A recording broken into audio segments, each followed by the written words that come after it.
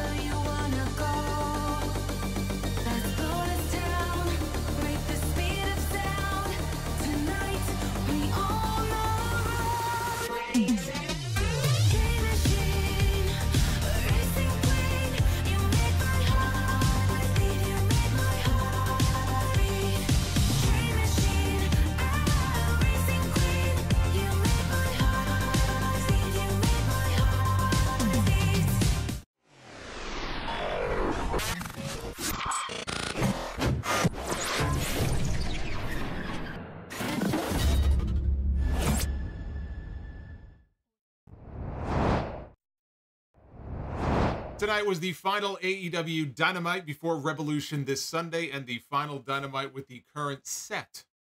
Uh, we are supposed to be getting a new set next week.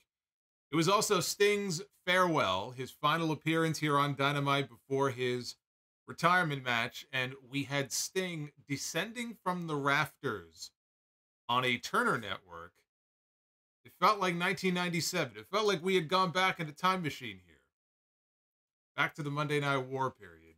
I was actually shocked. I was legitimately shocked that they did that on the show tonight, considering that, you know, this is the company that works with Owen Hart's widow, and I, I don't know if Tony Khan, not that he needs her permission, but, you know, had a conversation with her about it, reached out to her. It could be a touchy subject.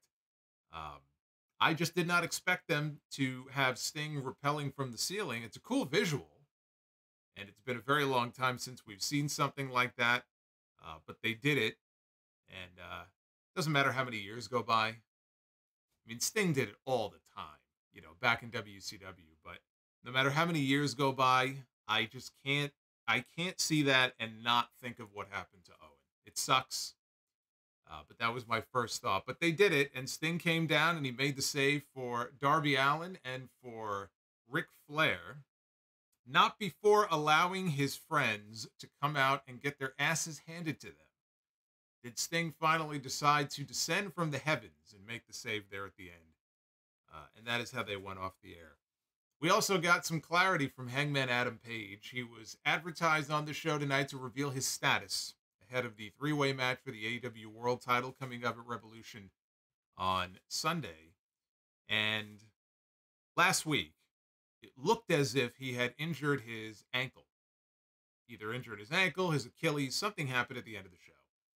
And, yeah, you're concerned about that because you're heading into a pay per view where this guy is one third of your world title match.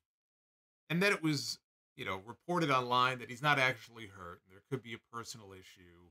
He may or may not be on the pay per view, but it's not an injury. It was it was a cover reason. He's not actually hurt, and he made that very clear tonight because he came out feigning an injury. But by the time his segment was over, he laid out Swerve Strickland with a crutch Hangman is healthy. Hangman will be there at Revolution on Sunday. The world title match is still intact. Someone else who popped up on the show tonight was Will Ospreay. Will Ospreay is all elite. He signed his contract back in November and said, "Let me finish my obligations first to New Japan, and then you will have all of me." Well, now his obligations are over, and Tony Khan has every bit of Will Ospreay. He came out tonight they were in Huntsville, Alabama. I don't think, I could be wrong, but I don't think that Will Ospreay has probably ever wrestled a match in Huntsville, Alabama. He may never have wrestled in the state of Alabama, but he came out there tonight. It is very encouraging to hear the kind of reaction that he got. They treated him like a superstar. He came out there and got a tremendous reaction, even though he is technically part of the Don Callis family. We can we can see you look into the future and you can see that's not going to last very long. But he did have a uh, a handshake with Konosuke Takeshita tonight ahead of their match coming up on Sunday, which is going to be fucking unbelievable. Uh, we also had a Chris Jericho match on this show, and he got in the ring with Atlantis Jr. from CMLL. And they explained the history with Jericho and his father, Atlantis Sr., going back to Jericho's days in Mexico 30 years ago. And as soon as this partnership began between AEW and CMLL, they said Jericho immediately knew that he wanted a match with Atlantis' son. And we got that match on the show tonight, and I'm not sure why. I mean, forget the story they told. I know why they explained Jericho wanted to wrestle this kid. What I don't understand is why we needed to see this match tonight. This is the go home show to a pay per view on Sunday. Jericho didn't even have a match on the pay per view until tonight. Now he's in a match. I'll tell you what that match is a little bit later. But, you know, Atlanta certainly is not wrestling on Sunday. You've got a pay per view that you're building towards. What the hell did you have to do Chris Jericho against Atlantis Jr. on the go home show for? It's a very odd choice. I don't know why they had to do that match tonight, but they did. And look, I came into this never having seen any of Atlantis Jr. before. I know who Atlantis is. I've heard the name. I, I'm aware uh, of how big of a name he is and was in Lucha Libre. I know that, but I've not seen Atlantis Jr. work before until tonight. Not impressed. Sorry. Not impressed. Although the fans in uh, Huntsville certainly enjoyed the match. So, hey, more power to them. I'm glad they enjoyed it. I'm glad I'm glad they had a good time. I was not a fan of this match. On the whole, though, I did think it was a good episode. I thought that they did a good job for most of the matches on the show on Sunday of, you know, setting the table for Revolution. What I'm going to be doing is I'm going to be running down the Revolution card a little bit later on. Uh, we'll go through the card coming up on Sunday and predictions as well. Can you guys hear me? I see some people saying that they can't hear me. Some people say they can. Some people can't. Are you sure? Is everything cool? You can hear me? Are we good here? We are having storm issues here in New York. So, again, if something is off, let me know and I will try to fix it. But uh, yes, it is very it is very windy and it is very so I'm low. I'm low. I don't I I'm maxed out on I'll tell you what, let me see here. Let me play with this. So I want you all to heal to heal me. I want you all to heal me. Hurt me and heal me. Now I want I want to make sure you guys can hear me. So give me a second here. And I will see what I can do for you. Let's see here. I'm going to bump this up a little bit. There you go. So now you guys let me know if that's a little bit better. If it's too loud, I will lower it. I don't want it to be too loud either. So keep me posted in the live chat. But what I was saying is uh, later on in the stream, I'm going to run down the Revolution card. I'm going to go through predictions. Uh, there was a change, a late change to the card. One match was canceled. Although now this this replacement match that they've added, I'm not sure.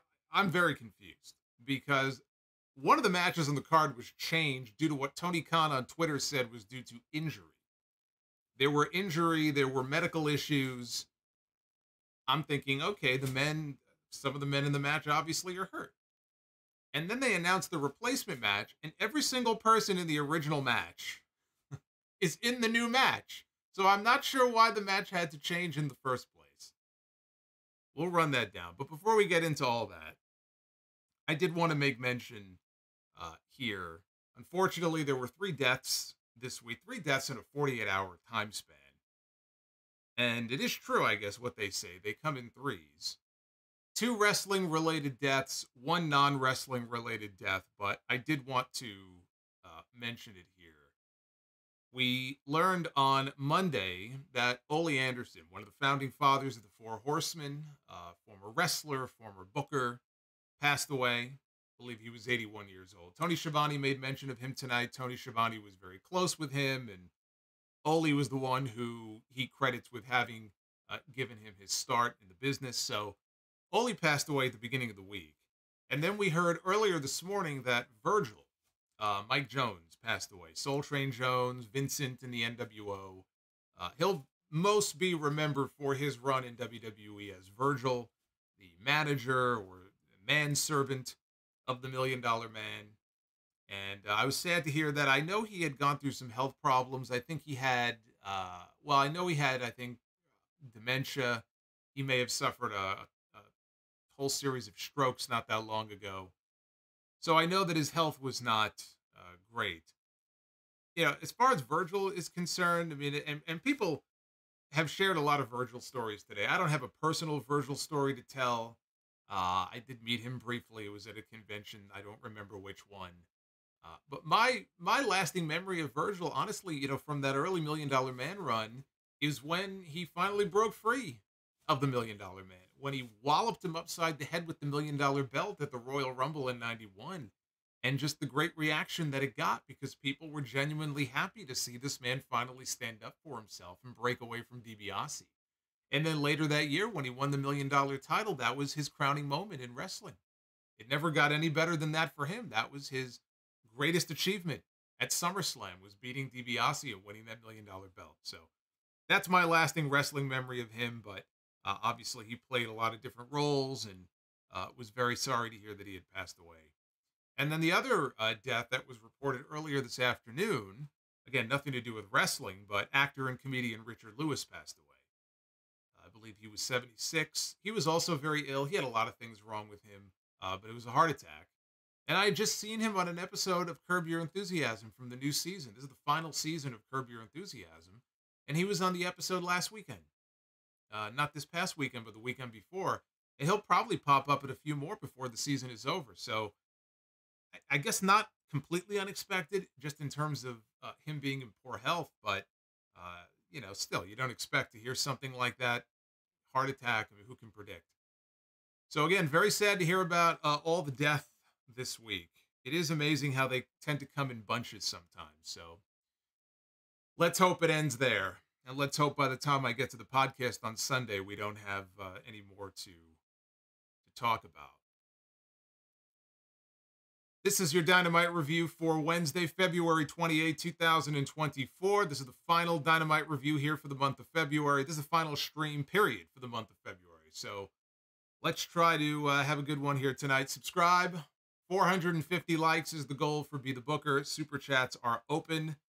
And uh, also, for those of you who may be interested, there is a sale going on on ProWrestlingTees.com slash Solomonster Sounds Off. Any shirt in the Sound Off store, you can get 20% off. Now through Monday. Just make sure you use the code MADNESS24. It is Merch Madness. And it is underway right now for the next several days, so be sure to check that out. Now, there's actually some news I wanted to just mention here first, since we're talking about CMLL and the CMLL stars coming into AEW. Uh, obviously, we had one on the show tonight. There was some news earlier today, and it could have a direct impact on AEW, so I wanted to talk about it very briefly here. But PW Insider had a story earlier today that uh, there is a visa issue that is affecting nearly two dozen different talents from CMLL that may prevent them from being able to work here in the US, and it could be a fairly substantial amount of time. So, in a situation that could have quite a negative ripple effect on upcoming events, PW Insider has learned that U.S. work visas for nearly 20 CMLL stars in Mexico are in the process of being canceled by the United States government. Once that happens, it could take months for new visas to go through the approval process and to be issued. PW Insider is told that 19 luchadors, including Volador Jr., Hechicero, and Mascara Dorada, who have all appeared on AW programming of late, as well as Blue Panther, and there's a whole bunch of names here. Uh, but he goes through the list. They're all expected to be impacted and unable to perform in the United States. And unless there is some sort of miracle to sort all of this out, which seems very unlikely, these talents would not be able to travel into the U.S. illegally to perform until a new visa is acquired for them. And such a process, they say, could take months if everybody involved pays some uh, very expensive fees to expedite things and if everything goes as smoothly as possible. But anybody that reads about the visa process knows that things don't always go all that smoothly. So that's probably being optimistic that this could get resolved in as little as a couple of months. More likely, this could take six up to six to 12 months to work itself out. And the reason I tie this into AEW is because there's been a lot of talk that this next Forbidden Door show coming up, which we just learned, not officially from AEW, but Andrew Zarian broke the news last week, and we'll see if Tony Khan confirms it at the press scrum this weekend. But the reports are that Forbidden Door in June is going to be taking place at Arthur Ashe Stadium here in New York City.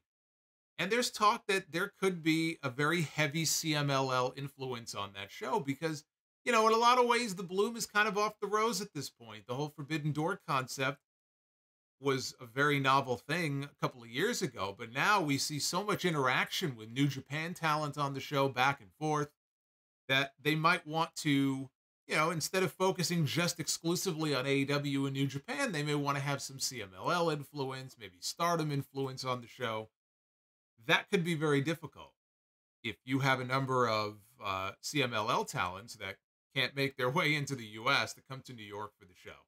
So that'll be a story to follow. Uh, we'll see if that gets resolved. I mean, the show is still a few months away, but again, this is a process that normally takes several months. So uh, we don't really know exactly how that's going to work out. So tonight's show started with Hangman Adam Page limping his way to the ring on a crutch to make an announcement about his status for Revolution after it looked like he injured his leg at the end of last week's uh, Dynamite in the main event. So he got into the ring and he talked about uh, when AEW started he says it was a goal for him. It was a chance to raise people's expectations and meet their expectations, and he would like to think that he's done so. And the fans cheered. He likes to think that him winning the AEW World title in 2021 was the biggest achievement of his career. And that's why it hurts so much to have to deal with this. And as he said that, he looked down at his leg. When AEW decided the world title would be decided upon in a three way match. He said it was horseshit.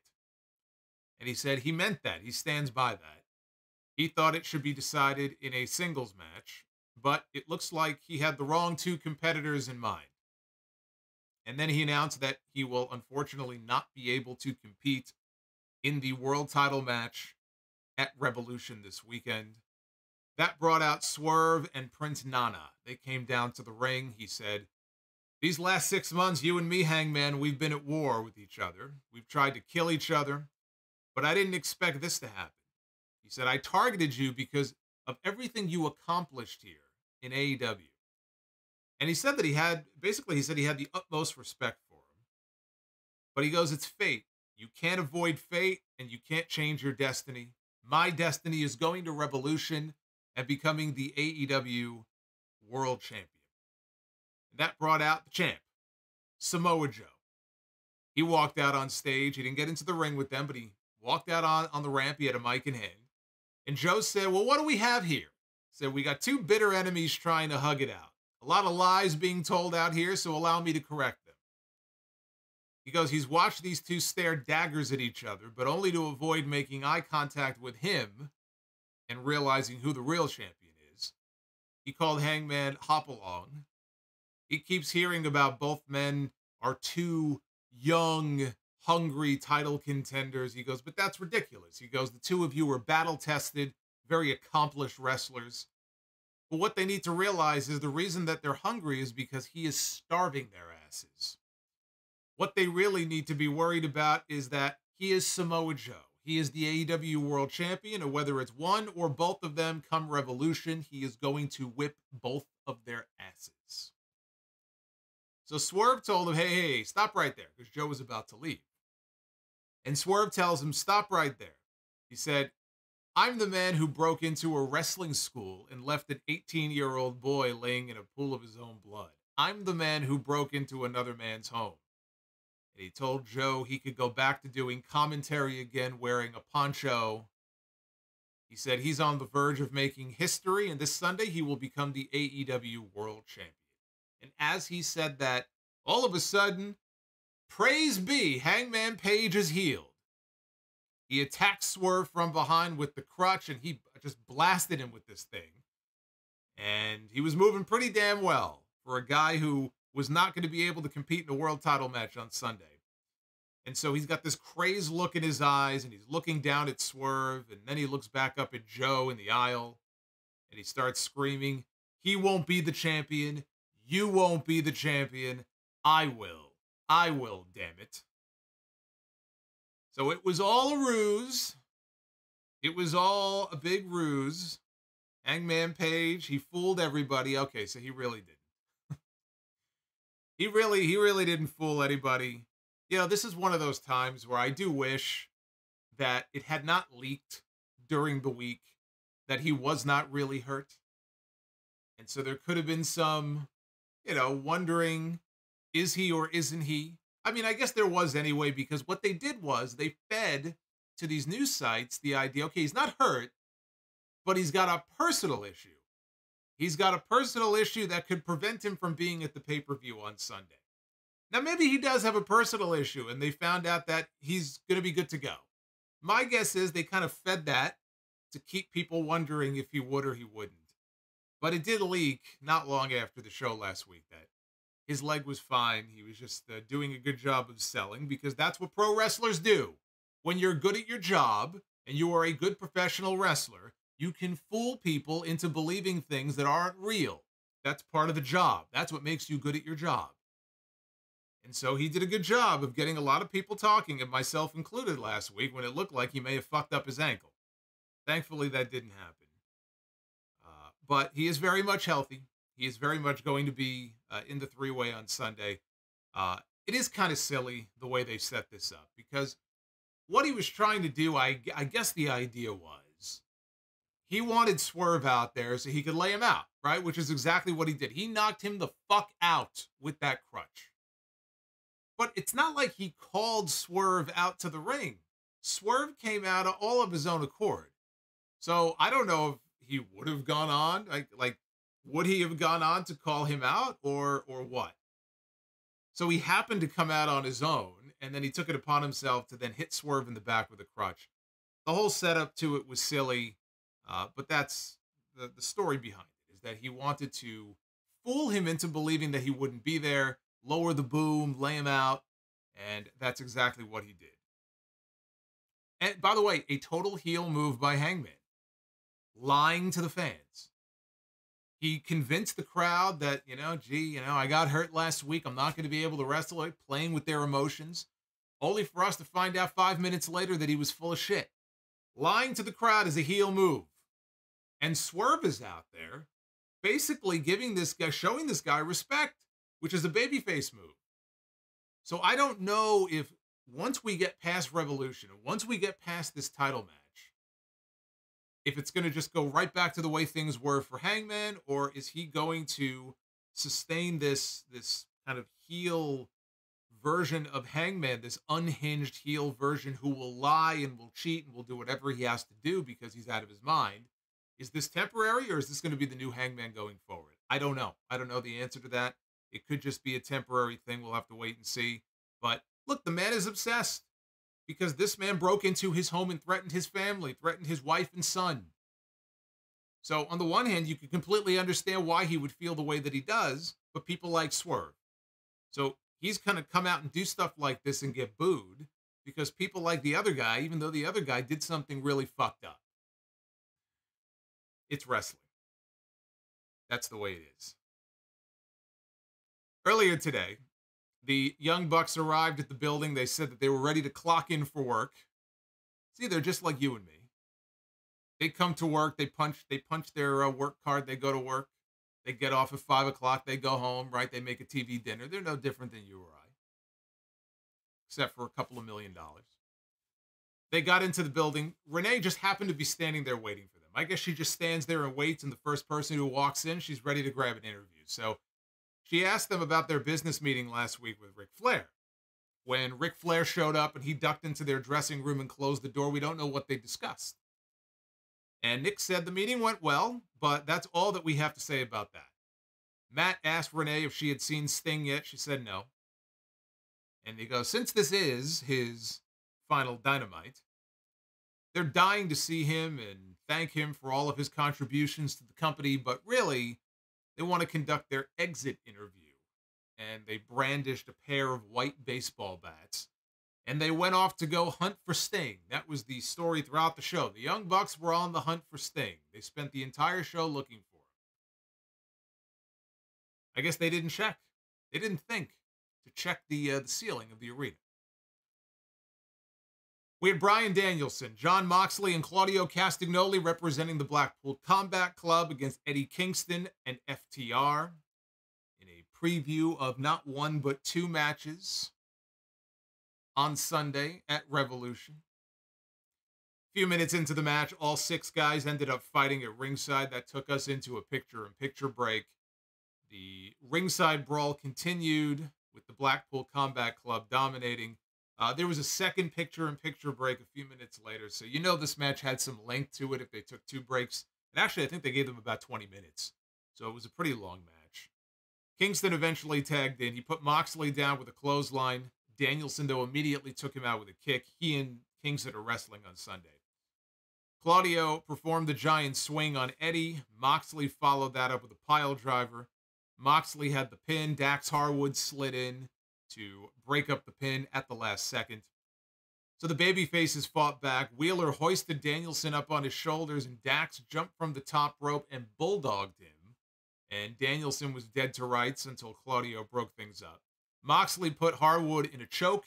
Danielson and Claudio also applied chokeholds to the other two. Kingston, Harwood, and Wheeler, uh, they fought out of it. They all threw some rapid chops this was laughable. This was la- and look, I I love all the guys involved here. I think they're all great. I'm big fans of everybody involved here. But they were showing these chops, and they're all off doing the same move, right? And and they show Eddie, and he's doing chops, and it's just it's laughable. Like these chops were horrible. this was this was awful. Tony Schiavone on commentary said, "This is cool." No, no, it's not. FTR dropped Claudio with a shatter machine. Harwood took out Moxley with a brainbuster. Then Danielson took out Harwood with a Busaiku knee. Danielson ducked a spinning back fist from Kingston, ended up dropping him with a Busaiku knee. And then Danielson grabbed Kingston by the hands and caved his head in with stomps. And then he transitioned into a triangle sleeper. Referee checked on Kingston and called for the bell. Eddie was clearly out cold. Uh, Kingston did not tap. He napped. He took a little nap. He went nighty night. And that gave the win to the Blackpool Combat Club. Danielson looked into the camera as they were exiting the ring and he said, Sunday, Eddie, your ass is getting choked out. They got a little too cute with some things there towards the end. Uh, otherwise, though, I thought this was the usual good stuff you would expect when you put these six together. Uh, it was a good preview of what we can expect on Sunday with the two matches.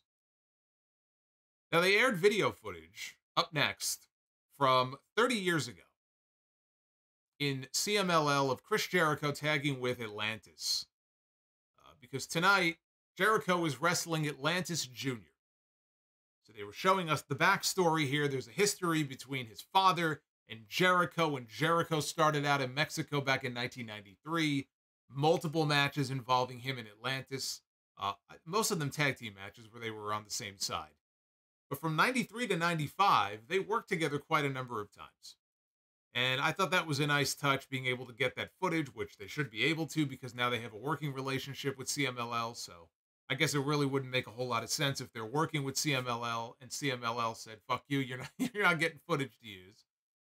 I'm sure CMLL was more than happy to supply footage of their product on TBS. And uh, I'm glad they had Excalibur explain why this match was at least happening tonight. So Jericho was interviewed by Renee and said that he was thrown in the deep end when he started in Mexico 30 years ago. He mentioned some of the lucha stars that he worked with. I heard Silver King mentioned. You know who else he mentioned? I heard El Dandy mentioned. There's something about these Canadians. They love them some El Dandy. Who are you to doubt El Dandy? I certainly don't doubt the man. Fucking A, he should be in the Hall of Fame. So he spoke about his friendship with Atlantis Senior. He said he wanted to repay the favor by. I just realized he said he wanted to work, re, repay the favor by working with his son. I want to repay the favor to you by beating the shit out of your son and trying to rip his mask off, which is what he tried to do during their match. He said that he would give Atlantis Jr. a lesson in violence and show him what Corazon de Leon can do. What he called himself in Mexico. And then he spoke some Spanish to close out the interview. How we doing here? How we doing? I sound okay? I sound okay? I hope I sound okay. Again, it's very windy outside. It could be screwing with things. Hopefully everything is good. It's uh, unseasonably warm here in New York, so uh, we have we have warm weather and we have 50 mile an hour wind gusts. The most important thing is that I am still connected. As long as the connection is good, then we're good. Because if that changes, we got problems. So after a break, uh, Tony Schiavone was in the ring to introduce one of AEW's newest signings, making his very first appearance since signing his AEW contract in November. Will Ospreay, who got a tremendous ovation from the crowd here in Huntsville. Will Ospreay, who also had both of his uh, suitcases lost by Delta Airlines. Welcome to the U.S., Will Ospreay. But they did find them. He did actually bring that up during his interview, and he said that they were retrieved. I don't know. I don't know where they are. They could be in a completely different city, but they did find his luggage, so so that's good. He got a great reaction. He got into the ring. He was wearing a green tracksuit, probably because whatever he was going to show up in was in his luggage. He said, Back in November, I told you guys, I asked you, I begged you, let me finish my obligations first with New Japan Pro Wrestling. He goes, My obligations are now done. And everybody cheered. And he said after that, he took a vacation in Barbados with the missus. Now he is here full time. Ospreay said he's uh, dressed in a green jumpsuit like Kermit the Frog. He reminded the crowd that he's already had wins in AEW over Orange Cassidy, over Kenny Omega, and the first AEW World Champion, Chris Jericho. He goes, The territory might be different, but he is ready to pick up where he left off as a member of the Don Callis family. And everybody booed. They don't like Don Callis. And almost as if, like, oh, he heard his name mentioned. Out comes Don Callis, Konosuke Takeshita, and Powerhouse Hobbs. And he gave Ospreay a big hug. There was a sign in the crowd that says Callis eats yellow snow. There you go. Callis said that there's nothing he likes more than a Callis family reunion. He thanked Ospreay for mentioning everything they accomplished together, and they're going to top it by having the match of the decade at Revolution between the Alpha Konosuke Takeshita and Will by God Ospreay. Said this is going to be like Jordan and Pippen going at it in practice and winning all those NBA titles, but it doesn't matter. who wins a revolution. It's irrelevant because the real winner is going to be the Callis family, and then he asked both men to shake hands. So Ospreay extended his hand out, and Takeshita stared at it like, yes, that is indeed a hand. And eventually he accepted the handshake. Will went to go walk away, and Takeshita pulled him in. And they exchanged some words, some friendly words. And then Takeshita went to go walk off, and then Ospreay returned the favor and pulled him in. It was getting a little testy there. Callis was oblivious to this in the background. He's smiling, he's laughing. Yeah, shake hands, my men. But you could see it was starting to get a little heated between these two. And then the Callis family walked away. Ospreay is not going to be tied to them for much longer. I don't know if it will officially end at Revolution or if that's just where the problems are going to begin, but he is not going to be a part of this crew for that much longer because Will Ospreay is not going to be a heel or at least positioned with the other heels. He's not going to be positioned with them for much longer. This man is going to be a babyface. This man should be a babyface. This man is going to be the top babyface in this company by the time this year is over, and probably well before this year is over. He's going to be the top babyface in this company. And it was very encouraging, honestly, to see him get that kind of reaction here in a place where I don't believe he has wrestled before. I didn't know coming in how popular Will Ospreay would be in Huntsville, Alabama, but he was pretty damn over tonight, and so that's an encouraging sign. Uh, look, them signing Ospreay was a huge coup for Tony Khan, and people can talk about star power, and they could talk about, oh, does he sell tickets though? You know, does he sell tickets? Is he, is he gonna pop ratings? Maybe in due time he will. We'll find out. We're gonna find out in short order. I know one thing though. This man, you put him in the ring and he can do things that a normal human being should not be able to do. He can do things in the ring that a lot of wrestlers are not able to do. He goes in there with pretty much every single person he works with and he elevates their game. He goes out there because here's the thing about pro wrestling pro wrestling is about more than just the matches and the moves and the holds and the dives and all the flashy stuff. Okay, it's about more than that. It's about the entire package. Can you work? Can you talk? Do you have personality? Are you charismatic? Is there something about you that draws the audience in and makes people want to see you? Right? That's what it's about. Getting people to want to see you, getting people to want to cheer for you or boo you or whatever, but to get them invested and engaged. Will Ospreay has a lot of people invested and engaged. And now he's going to be on weekly television, which is a, a, situation that he has not found himself in before. He's been with New Japan for a number of years. They don't have weekly television in the same way the WWE does or AEW does. They have a show on AXS Television, but it's stock footage from months ago. Okay, they don't have a weekly episodic television program like they do here in the States. So now we're going to be exposed to him on a regular basis. And it's going to be up to Tony Khan to program him with people and get him involved in stories that are compelling and are interesting. But when the bell rings, at the end of the day, as important as all that other stuff is, when I'm sitting here and I'm watching a wrestling match for 10, 15, 20, 25 minutes, I want to be entertained. Will Ospreay is better than almost anybody in the world at that right now. That's what he brings to the table for Tony Khan. That was a big feather in his cap being able to sign Will Ospreay. And if in fact he has Okada coming in as well, and that's not confirmed, but the belief is that he is going to be signing, if he hasn't already, with AEW, and he's coming in. That's a hell of a one two punch to steal away from New Japan Kazuchika Okada and Will Ospreay. And Tony Khan needs that because MJF, we don't know when he's going to be back. Adam Cole, we don't know when he's going to be back in the ring. They've had a lot of injury issues. Kenny Omega, we don't know when he's going to be back. I mean, MJF, Adam Cole, and Kenny Omega, those are three big names that are on the shelf right now. But you bring in Okada and Ospreay, that's a nice way to try to fill the void. And that's to say nothing of Mercedes, and she'll be coming in in a few weeks too. That's a big, big signing for AEW. And I do believe he will be their top babyface in short order. Now, Eddie Kingston was in the back, and he was interviewed by Renee. They were interrupted very quickly by the Bucks. They wanted to know from Eddie if they had, if he had seen Sting. Nick told Kingston, by the way, says uh, you were talking crap about us on Collision, and I'm going to fine you the next time you do that. Matt apologized for his brother. He said his brother could be a bit of a hothead. Told Eddie to start dressing like a champion and said maybe they need to implement a dress code. And then the Jacksons, who had their bats with them, they went looking for Sting. And Taz on commentary, you could hear he was feigning concern about dress code. He goes, I worked in a place once before that had a dress code. He sounded worried.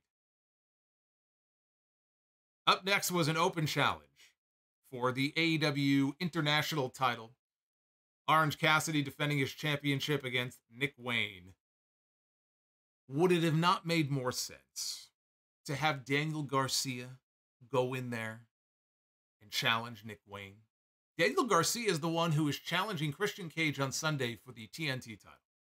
Would it have not made more sense to put Garcia in there and give him a mountain to climb?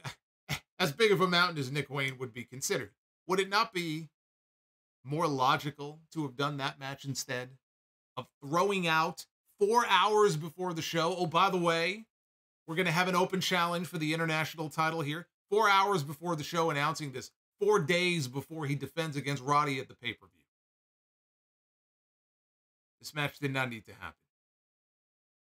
Wayne sent Cassidy to the floor with a leaping back elbow and then drove Cassidy back first into the ring steps. Followed that up with a moonsault from the second rope. Back inside, Cassidy slowly rolled out of the way of uh, whatever Nick was about to go for from the ropes. Uh, Wayne didn't care though. Wasn't going to stop him. He did a somersault dive out to the floor onto Cassidy. Back inside, Wayne missed the top rope double stomp. He tried for a superplex. Cassidy fought free. Wayne was down, and the referee missed Christian Cage crotching Orange Cassidy because Cage was out there, Kill Switch was out there, Mother Wayne was out there. I don't know why that's just, it's still funny to me whenever they say Mother Wayne. I know she has a name, but which I, I just forgot actually what her name is. Uh, Shauna, right? Is it Shauna? Shauna Wayne? Anyway, they're all out there. Referee didn't see Christian uh, him on the top rope. But when the referee turned around, he did see Cage on the apron. And so the referee ejected the entire patriarchy heading into picture in picture. So Cassidy mounted to come back. Wayne answered with a nice fisherman suplex with a bridge for a two count. And then he started to mock Orange Cassidy with the weak little kicks. Shayna, there you go. Okay, what did I say? Shauna?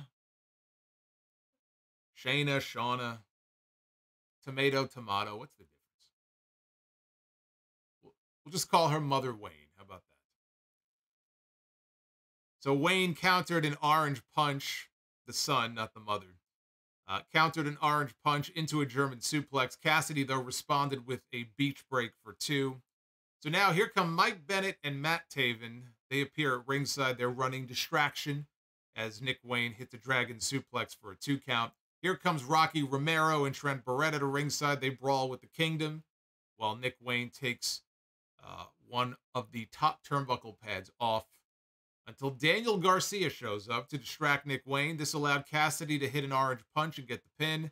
As soon as the match ended, Roderick Strong hit the ring, laid out Cassidy, quickly bailed though when Romero and Beretta made the save. The match was good. I mean, it, you know, the match was fine. There was nothing wrong with it. Uh, the problem is nobody watched it. Not one person.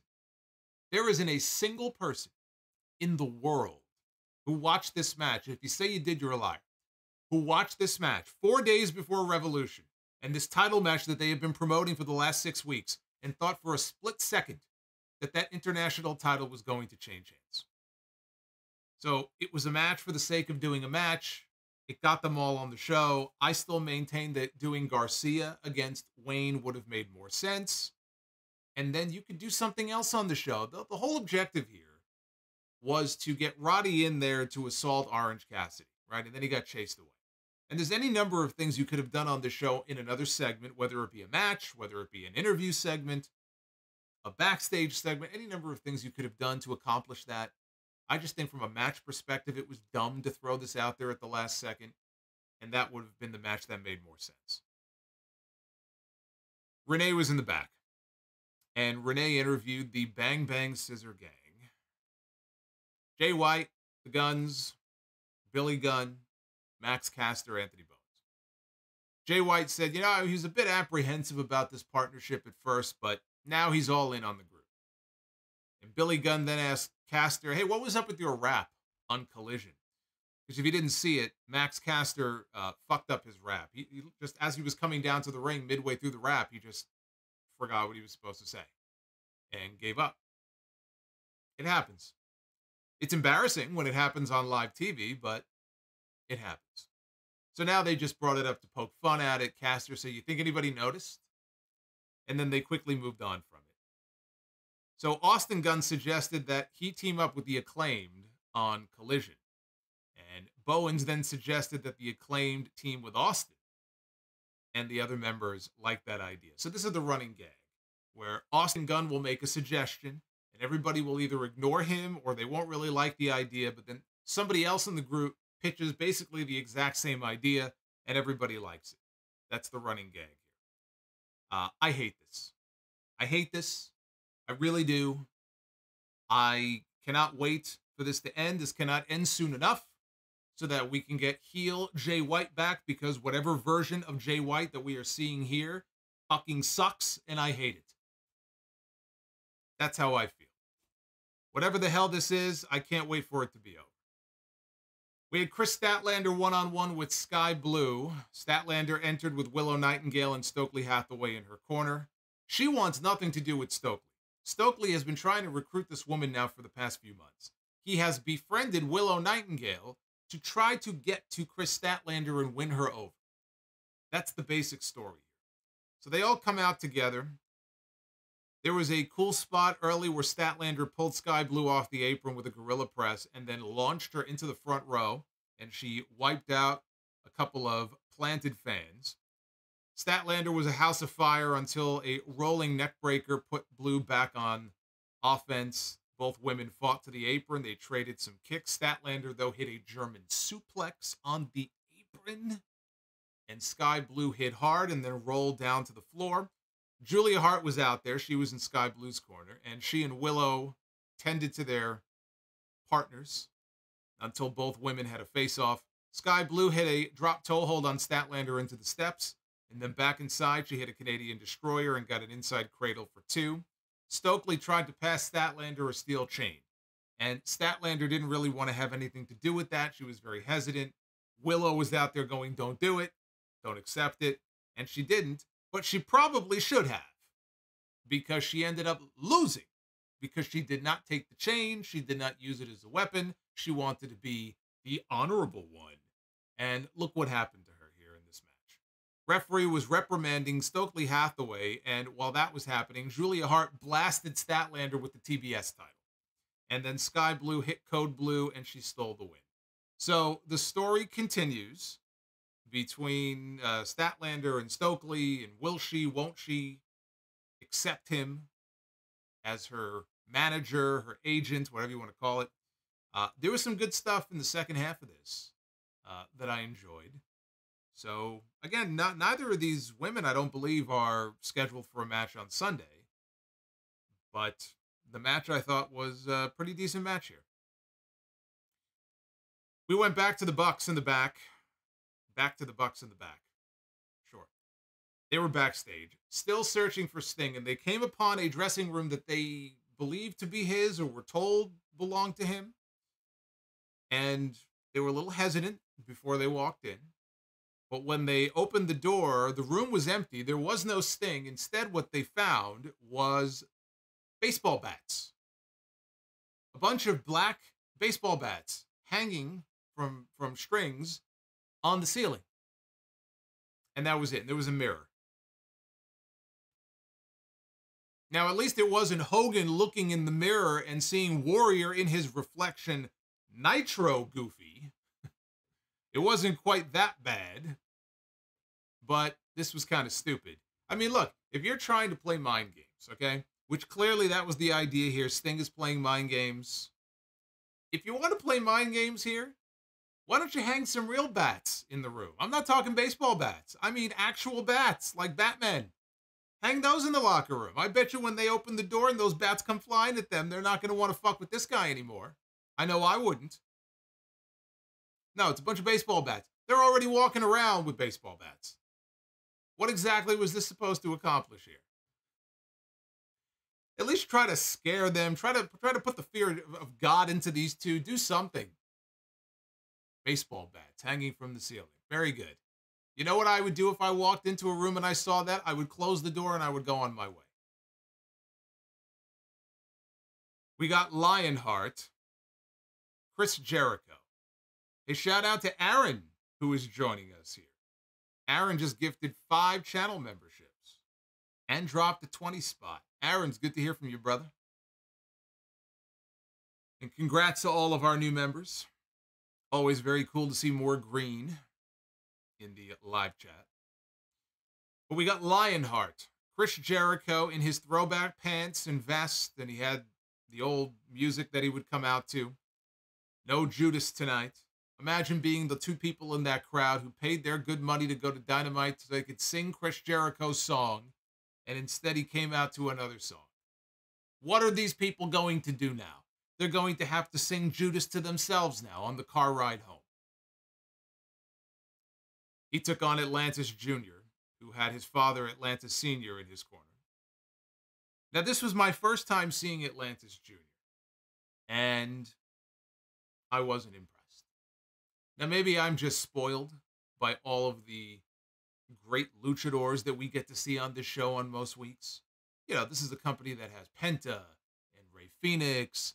And look, we, we've seen other luchadors come in from CMLL, and we've seen luchadors from other places in the independent scene. We've got Vikingo, and we have Komander, and we have all these different people who go out there and they do these incredible things. Maybe I'm just spoiled. I don't know. But what I saw here, I don't, and again, I don't know if he's supposed to be a big deal. I know his father is obviously a very esteemed name in Lucha Libre, right? I've heard of Atlantis before. I don't know if it was really just a case of Jericho wanting to wrestle Atlantis's son, and this is here's Atlantis Jr., but it's really all about the father, or if he's supposed to be a big deal. But if he is, I didn't see it. He looked very tentative in a lot of his uh, early stuff here in the match. There were some things that came off very awkward. He he gave Jericho like two or three monkey flips. One of them was all fucked up. But even doing those, you know, he's very kind of slow and tentative. And on the third attempt at a monkey flip, Jericho countered into the walls. Atlantis, though, quickly got to the ropes. Jericho tried to unmask him until Aubrey Edwards put a stop to that. That allowed Atlantis Sr. to lure Jericho over to the ropes, and he choked him for a while with his towel. The towel that would come into play a little bit later on. That led to Atlantis Jr. hitting a dive and a slingshot into the post. Atlantis wanted a power bomb onto the ring steps, almost dropped Jericho the first time, so that was a fumble.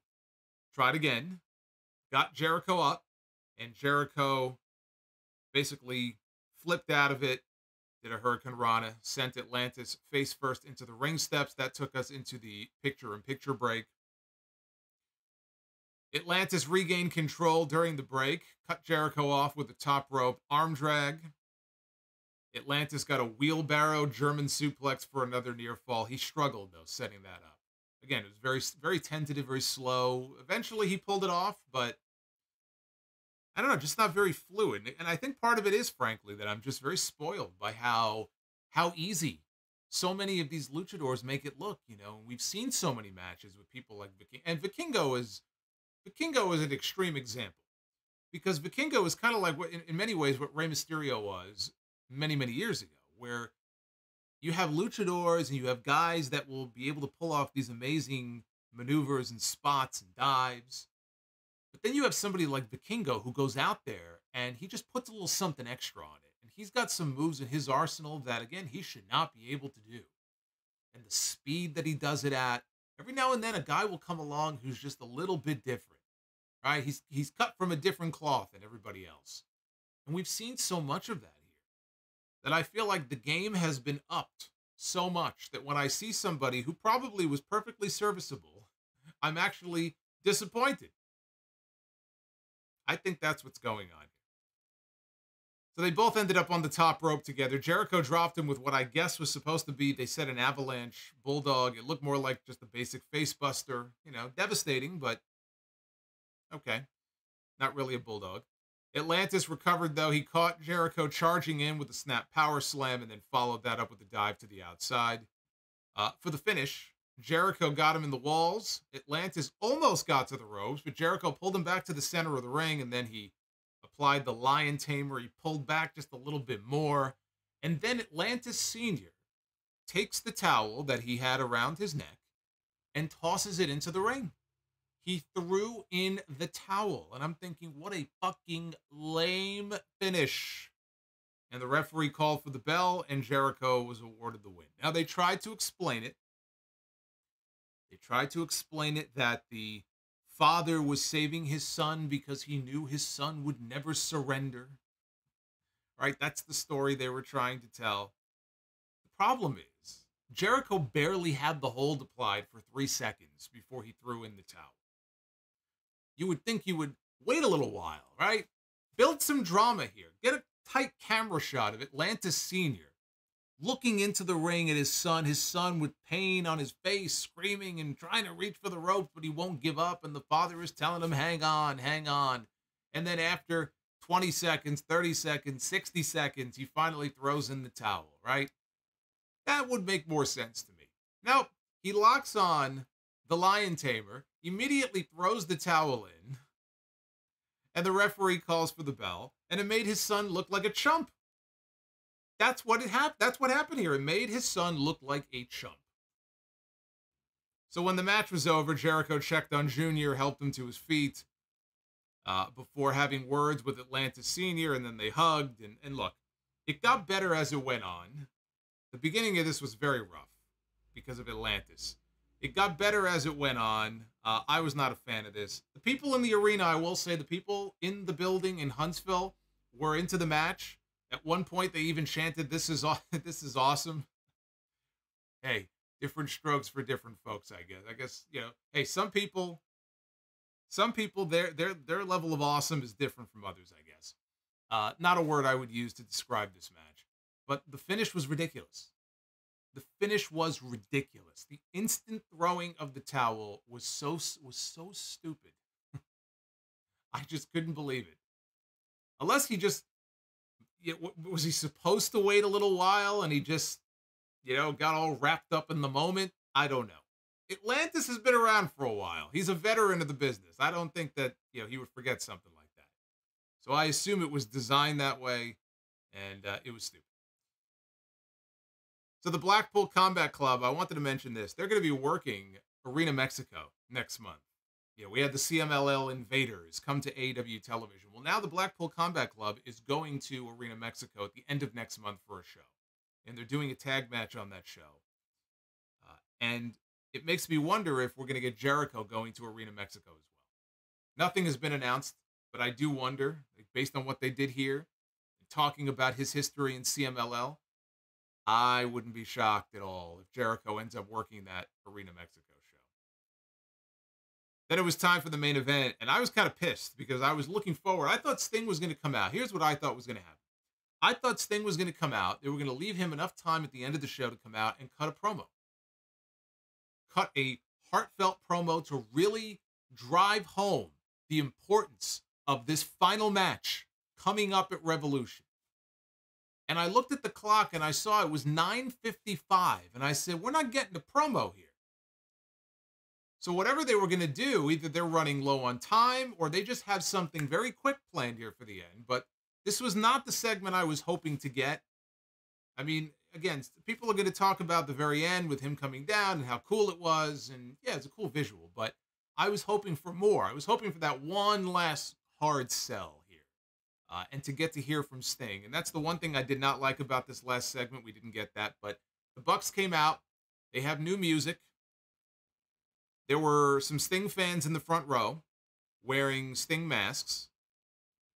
I thought back to those couple of times over the years, right? Once in WCW and once in TNA, where we had Sting revealed to be wearing a Sting mask, which will never not be funny to me. I was kind of hoping we would get that here, but that would have been a little too obvious, I guess, right? If if the Bucks go out there, the first thing they're going to think is Sting must be under the mask, right? So they didn't do that. It's the amazing Goonthar. Oh, it's Goonthar. Jerry Lawler loves Goonthar, the magnificent. Look who it is. All hail Goonthar. It is Goonthar, the amazing one himself, courtesy of our boy Aaron. Hey, Aaron, thank you, man.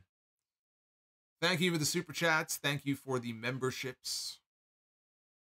Get to your messages here and your questions in just a little bit. So uh, get them on in. But Aaron, again, thank you very much, brother. So the Bucks see some fans in the front row wearing Sting masks. One of them unmasks, and it's not Sting. It's Sting Jr. It's Darby Allin. And Darby goes after the Bucks. They got the better of him though. They get him in the ring and they start assaulting him with their baseball bats. Like they're beating this man down. And then they set him up for the EVP trigger and they hit it. No save. Lights don't go out. I thought Sting had the ability to make the lights go out. Apparently, he didn't care enough about his boy Darby here to put the lights out to give him a chance to, you know, escape or uh, make a comeback.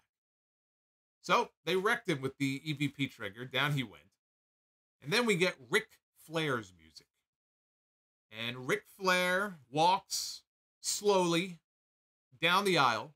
He takes his jacket off. He flashes a thumbs up to the Bucks in the ring. He climbs into the ring. Matt Jackson hands him a baseball bat. And now they're holding Darby. And instead of hitting Darby with the baseball bat, Ric drops the bat instead. He starts attacking the Bucks with punches. He is fighting the Young Bucks until Nick Jackson delivers Ric Flair's kryptonite, uh, which, other than alimony, is a low blow from behind. Oh, I guess you can call the alimony payments a low blow of their own. But he delivers a low blow to Ric Flair. 40 years, right? Probably almost 50 in the business. You would think Ric Flair would have some sort of counter for the nut shots at this point, but he doesn't. So down he goes, and they start putting the boots to Ric Flair. Now we hear Sting's music. And by the way, Flair looked fucking ancient. Having him do anything physical in the ring is a bad idea. I know he wants it. Just because he wants it doesn't mean that you need to give it to him. But now we hear Sting's music, and the Bucks are ready for him. They got their baseball bats, they get out of the ring, and they go up the ramp, and they wait just just before the stage, right? And they're waiting for him to come out. And now all of a sudden, behind them, you can hear the crowd stirring, and the camera cuts to the roof of the building, and we see Sting in the long trench coat, like it's 1997 on Nitro, being lowered from the ceiling all the way down to the floor. And everybody is losing their minds because, of course, they're having flashbacks to their childhood. They're having flashbacks to the Monday Night War. Sting comes down, he unhooks himself, and the Bucks run back down to the ring. Sting, though, he's got a baseball bat. He takes them both out with bat shots. Darby goes up to the top rope. He dives off. He takes out both Bucks with a coffin drop. He takes Nick Jackson, picks him up, throws him in the ring. Sting climbs into the ring, and Sting then drops him with a scorpion death drop. And that was the segment. They played his music. That's how they went off the air. I was disappointed in that I was hoping for more out of what was billed as his farewell on Dynamite. Now, we may get a promo from Sting after his match in Greensboro. In fact, I would be shocked if we don't hear from Sting on the microphone, win or lose, in Greensboro on Sunday. Even when Ric Flair had his final match, when the match was over, they put a mic in his hand and he cut one heartfelt promo for the, you know, all the people who were there. Probably couldn't remember a fucking thing that happened because, as he would later admit, he passed out during the match. That whole thing is still an embarrassment. I'm sure we'll hear from Sting on Sunday, but it would have been nice to have that last go home sell from him and him and Darby together in the ring and and him just talking about what this means to him, what this journey has been, and you know what they're planning on doing to the Bucks when they get to Greensboro on Sunday. We didn't get that. And I can see where some people would be disappointed in that because again, that was the big segment that was really hyped up for the show tonight. Uh, the visual of Sting being lowered from the ceiling, though, you know, again, if you think back to the NWO days, uh, that was a cool visual. Still very surprised to see them do that, considering uh, that they're the ones working with with Martha and the Owen Hart Foundation. And I do wonder if, as a courtesy, he would have said to her, "Hey, look, we're thinking about doing this. You know, we want to do this on the show. Just wanted to run it by you." Yeah, I, I just because again, it's such a it's a it's a sticky subject there. I, when I see something like that, yes, I think of Sting from 97. But again, given the gravity of what happened, how can you not? How can you not think of that? You know, what happened in 99? And it's not something that I honestly want to be reminded of. So that surprised me, but everybody went nuts for it. I don't think that's what was on the people's mind, certainly in the building uh, tonight. Uh, but what was hilarious to me it was still hilarious to me to see Sting take a sweet time and allow his friends to get their asses kicked until he was ready to make his grand entrance. That will never not be funny to me. It's kind of a wrestling trope. Like we, we've seen that in wrestling over the years. Partners, people will come out, they'll get beat down and beat down and beat down until the music plays. And then the person can come out and make the save. Or like when Jeff Hardy made his uh, debut. Was it his debut? Might have been his debut in AEW. And his brother was getting his ass handed to him. Remember what Jeff Hardy did when he came out? Matt Hardy is getting the shit kicked out of him. And Jeff Hardy is in the, he's on the ramp. I think he had a chair in his hand. And he's got to do the Jeff Hardy dance. He's got to dance first. Sorry, bro. Sorry, bruh. I got to dance first, right? I mean, it's fucking, it's hilarious because it's so stupid. If I did that to a friend of mine, we wouldn't be friends anymore. In wrestling, though, all is forgiven. That was Dynamite. Not a bad show. Obviously, there were parts of it I didn't like. I thought the key matches, uh, they, you know, did a, a good job, a decent job in some cases of hyping up for Sunday. It set the table for a lot of those matches on Sunday. I still think there were a couple of matches, including the Jericho match, that did not need to be on the show. Let's take a look at the Twitter poll, then we're going to get into these Revolution predictions. But here's what you guys thought of the show tonight with almost a thousand votes in. Again, we're doing them on a rating scale now, star ratings. 35% give the show four stars, 32.7% three stars, 13% two stars, and almost 20% gave this show one star. At Solomonster Vote on what you thought of the Dynamite before Revolution. Back to me. Let's talk about Revolution because the pay per view is coming up on Sunday from the Greensboro Coliseum. I don't know what the current exact total is, but the last I checked, WrestleTix, they were up right around 16,000 tickets sold, which is a huge crowd for an AEW show. Uh, that's not at you know Wembley Stadium or a big big place like that. That's a big crowd. That's a very healthy crowd. And the thing about that is the majority of those tickets were sold weeks ago. It's not like, oh, they just got up into the 14, 15, 16,000 range. They've been there for a few weeks. This is all about Sting's retirement.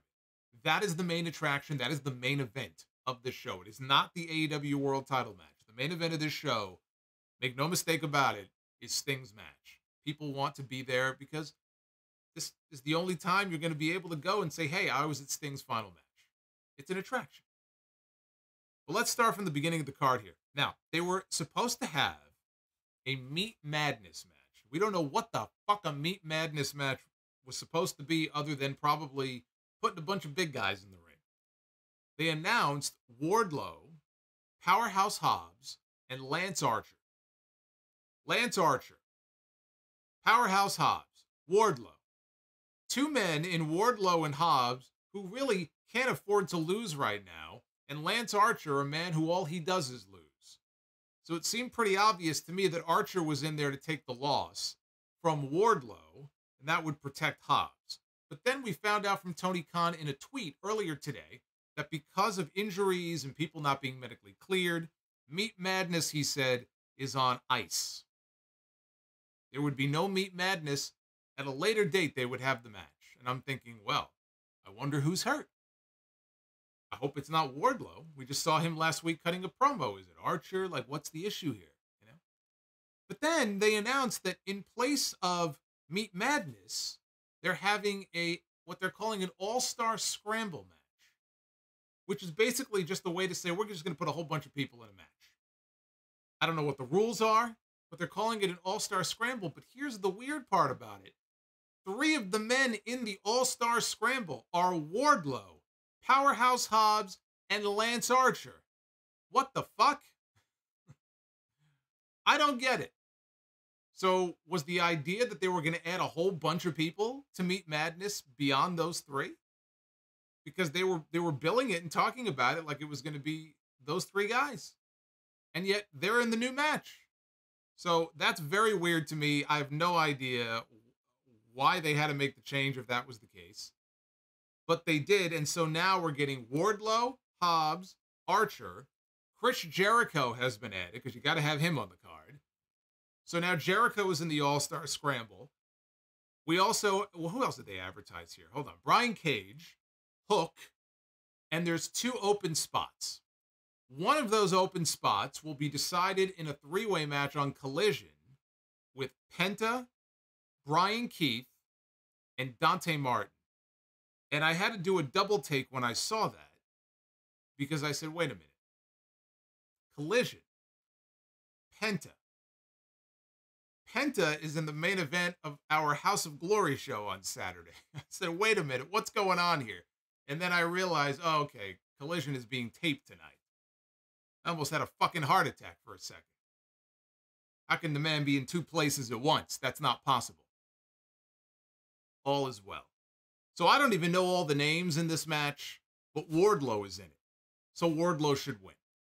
You can't have Wardlow go out there on TV last week and cut that impassioned promo and then go out on the pay per view and lose. So he should win. I don't know who the final two spots are going to be, but it should be Wardlow going over in that match. Now, FTR is going to be taking on Jon Moxley and Claudio Castagnoli, or uh, Jon Moxley and Claudio are going to be taking on FTR. This is coming off their time limit draw. They had a 20 minute time limit draw last week. Uh, the Blackpool Combat Club, they're the ones who are currently at war with the CMLL crew. Uh, I could I could potentially see BCC and FTR once their little feud is over here, coming together, joining forces, and then all of them end up competing against the CMLL talent. Maybe they all show up at Arena Mexico. As far as who wins here, I think Moxley and Claudio get the win. I again, it could go either way. If it were me, I'd have FTR go over. They're they're the real team. I just feel like they're going to give BCC a win to keep them strong going into uh, Arena Mexico. We have Orange Cassidy defending the AEW International title against Roderick Strong of the Undisputed Kingdom, the very mediocre Undisputed Kingdom. If Roddy does not win the international title in this match, disband the fucking group. Just disband them and move on.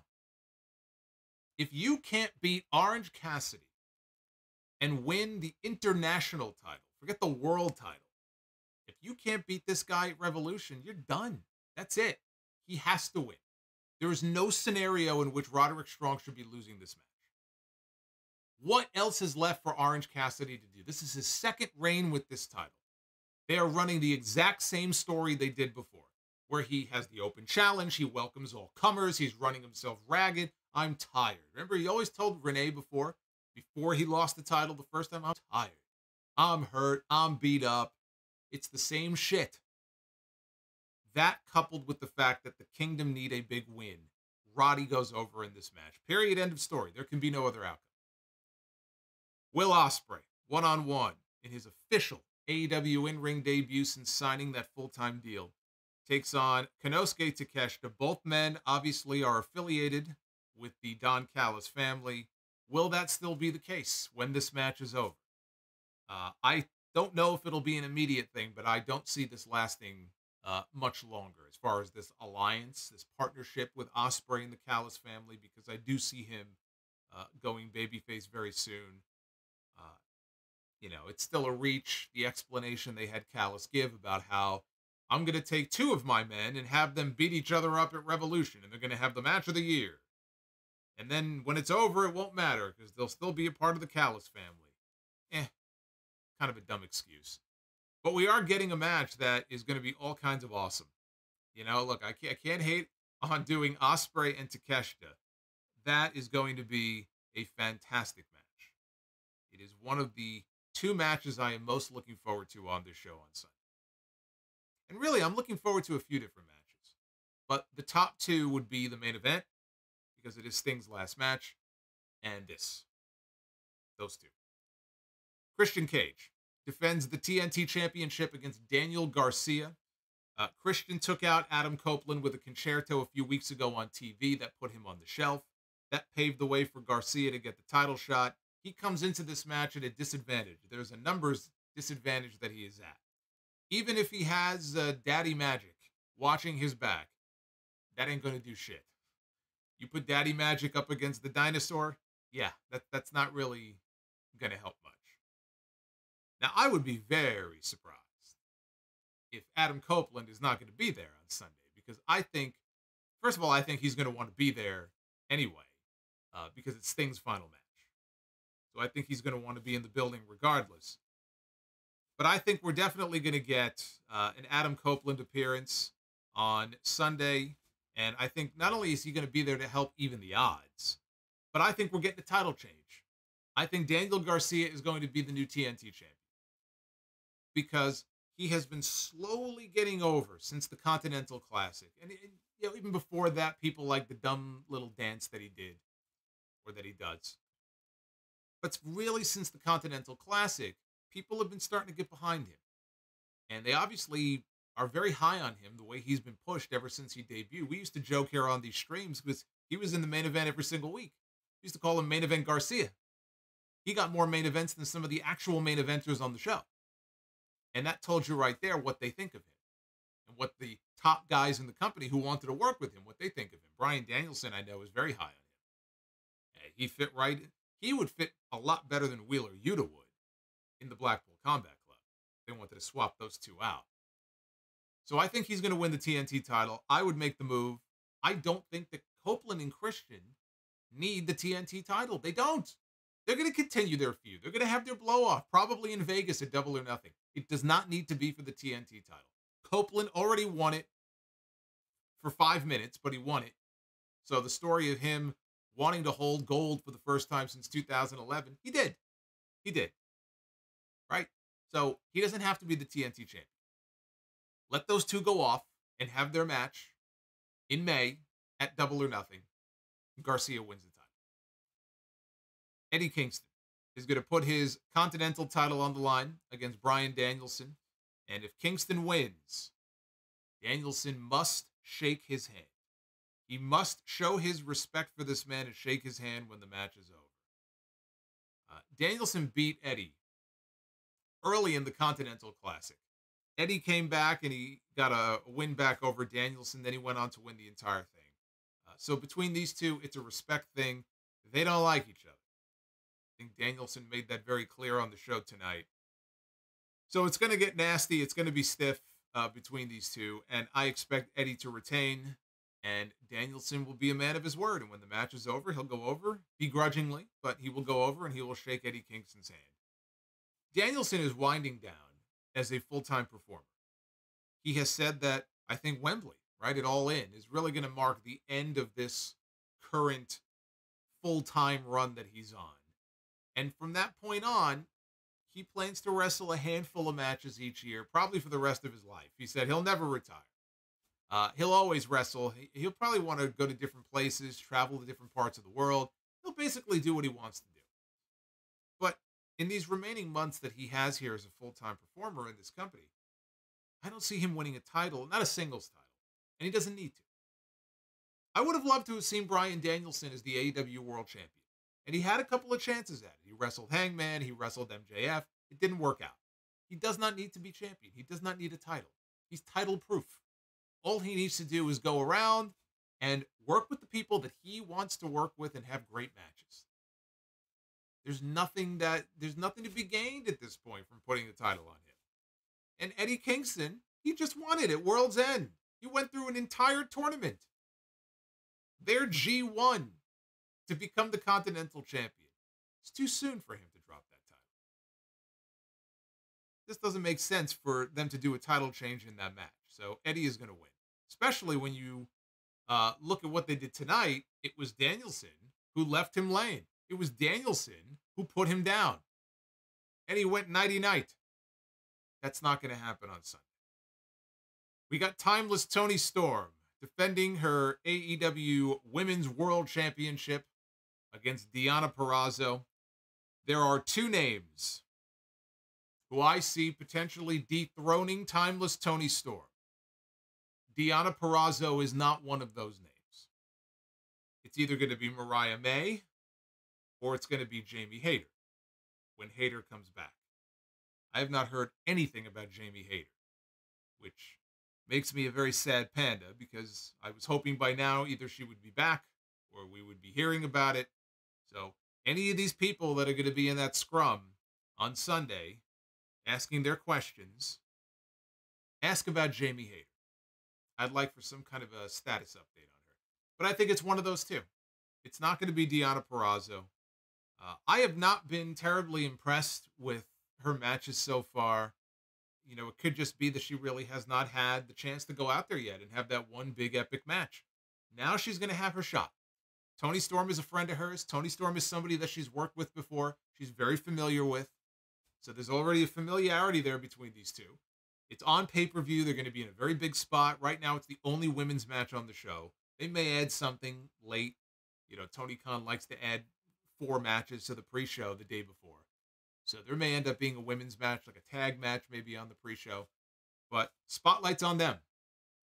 This is a chance for her to go out there and have the kind of match that she just hasn't really had yet so far. And she's only been here for uh, a month, maybe. But I'm expecting good things from those two. I think that's going to be a very good match.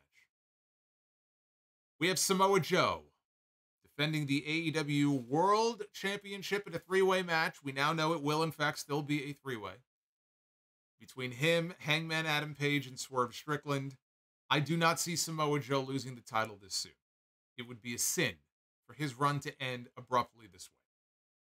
Swerve Strickland will be the AEW World Champion at some point. This will not be the weekend that they pull the trigger and put the belt on him. I think that this just insatiable hunger for revenge and to prevent this man from ever becoming champion that Hangman feels for Swerve is going to play directly into the finish of this match. And I laid it out a few weeks ago. There's going to be some kind of a finish here where it becomes more important for Hangman to make sure Swerve doesn't win and he loses than it is for him himself to win. Like that to him is more important than anything else. Just making sure this guy does not get that title. And if that means that there is a, a sequence at the end of the match where maybe there's dueling submissions, right? Joe's got the coquina clutch. Swerve looks like he's about to tap. Or, or rather, the other way around. Joe looks like he's about to tap.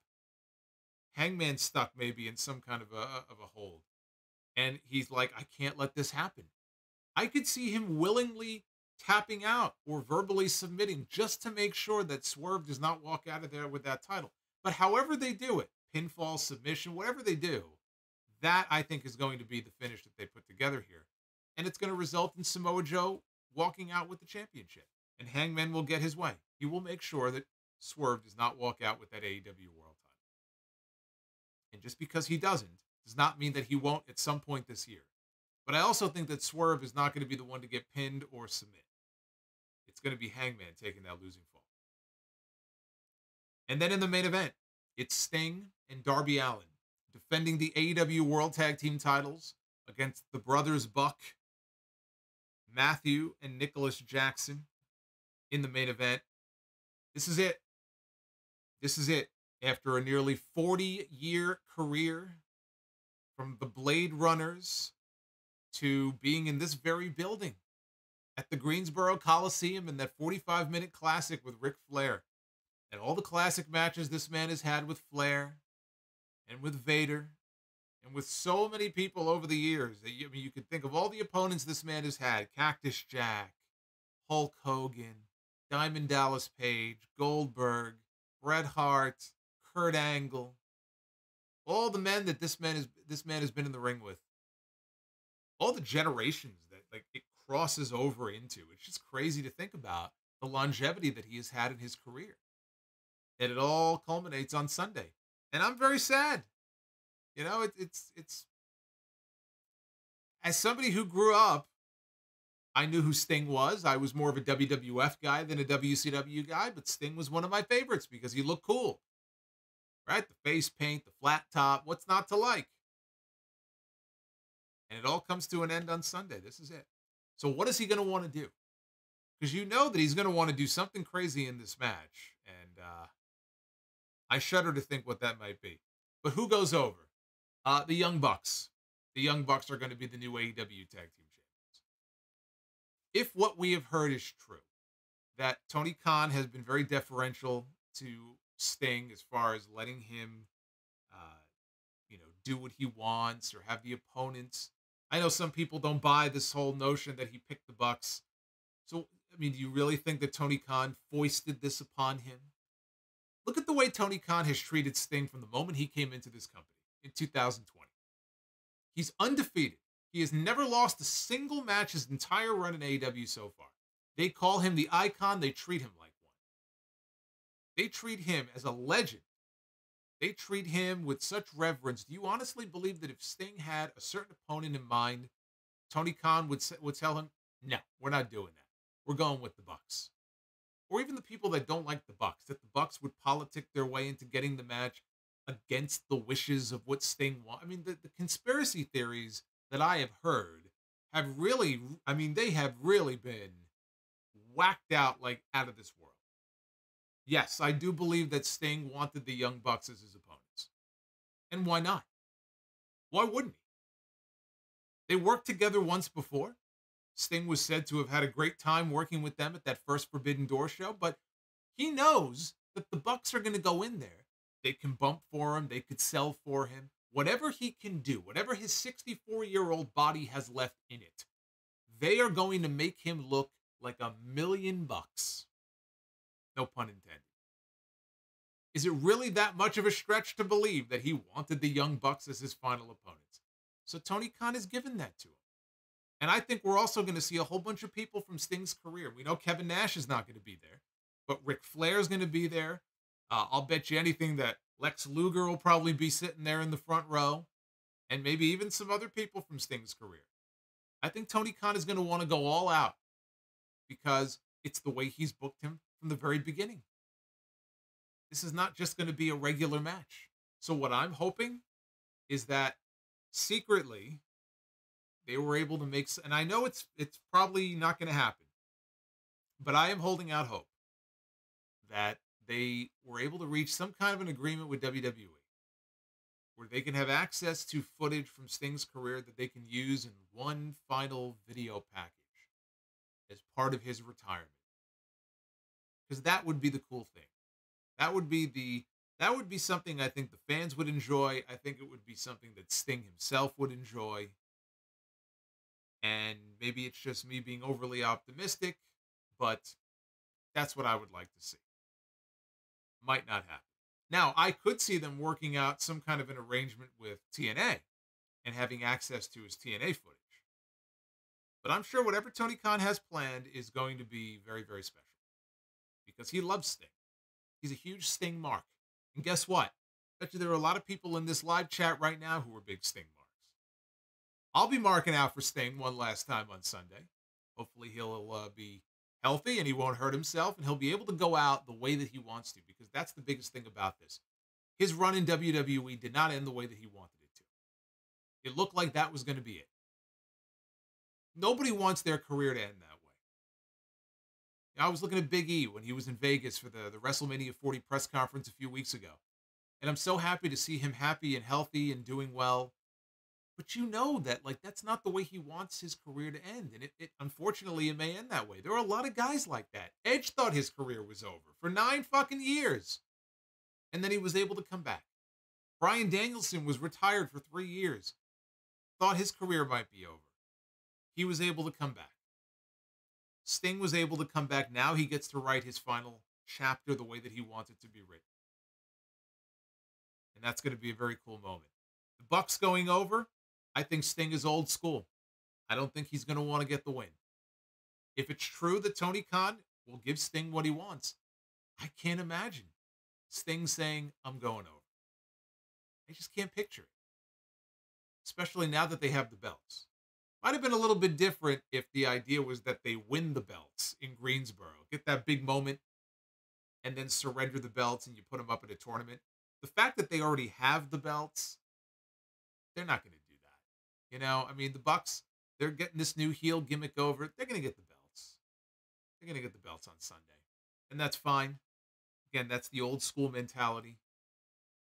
And then uh, you will probably get that Sting promo at the very end of the night. Uh, I'm sure it'll be a very emotional thing for a lot of the uh, people in the building, but it's going to be a very cool moment. I'm glad that Sting is uh, going to get the chance to go out this way uh, because for a while there, it did not look like that was going to be the case. And I'm also very hopeful that because of the angle they did tonight, where it looked like Ric Flair was going to had turned on them, but then instead he went after the Bucks uh, that that means that we're not going to get Flair costing Sting the match on Sunday, which is still possible. But I think the fact that they did that angle tonight, hopefully that means that they're not going to just have Flair turn on Sting on Sunday. Wouldn't be the first time though that Sting fell for the Horseman fucking over. But that's your Revolution card. I, of course, uh, am going to be live as soon as Revolution is over uh, which probably won't be until midnight on uh, or after midnight on Sunday. These AEW pay per views are very, very long. Uh, I actually think the card on paper is very, very strong. This is one of the strongest lineups they have had for a pay per view on paper in a very long time. And they had this lineup mostly figured out and announced weeks ago. This was not one of those times like they've done so many times before where it's the week of the show and we know two matches right? We've known pretty much the entire card now for at least a month. And uh, I hope that's a change we see more often with AEW, where they don't wait until the very last minute to announce everything. But that'll be coming up on Sunday night. So you get two podcasts on Sunday. You'll get episode 851. Uh, that'll drop sometime in the afternoon. And then the uh, Revolution recap on Sunday night. Before that, though, a couple of things I want to mention here before I get to your uh, super chats those of you uh, may be familiar with another YouTube channel by the name of Good Mic Work Commentaries.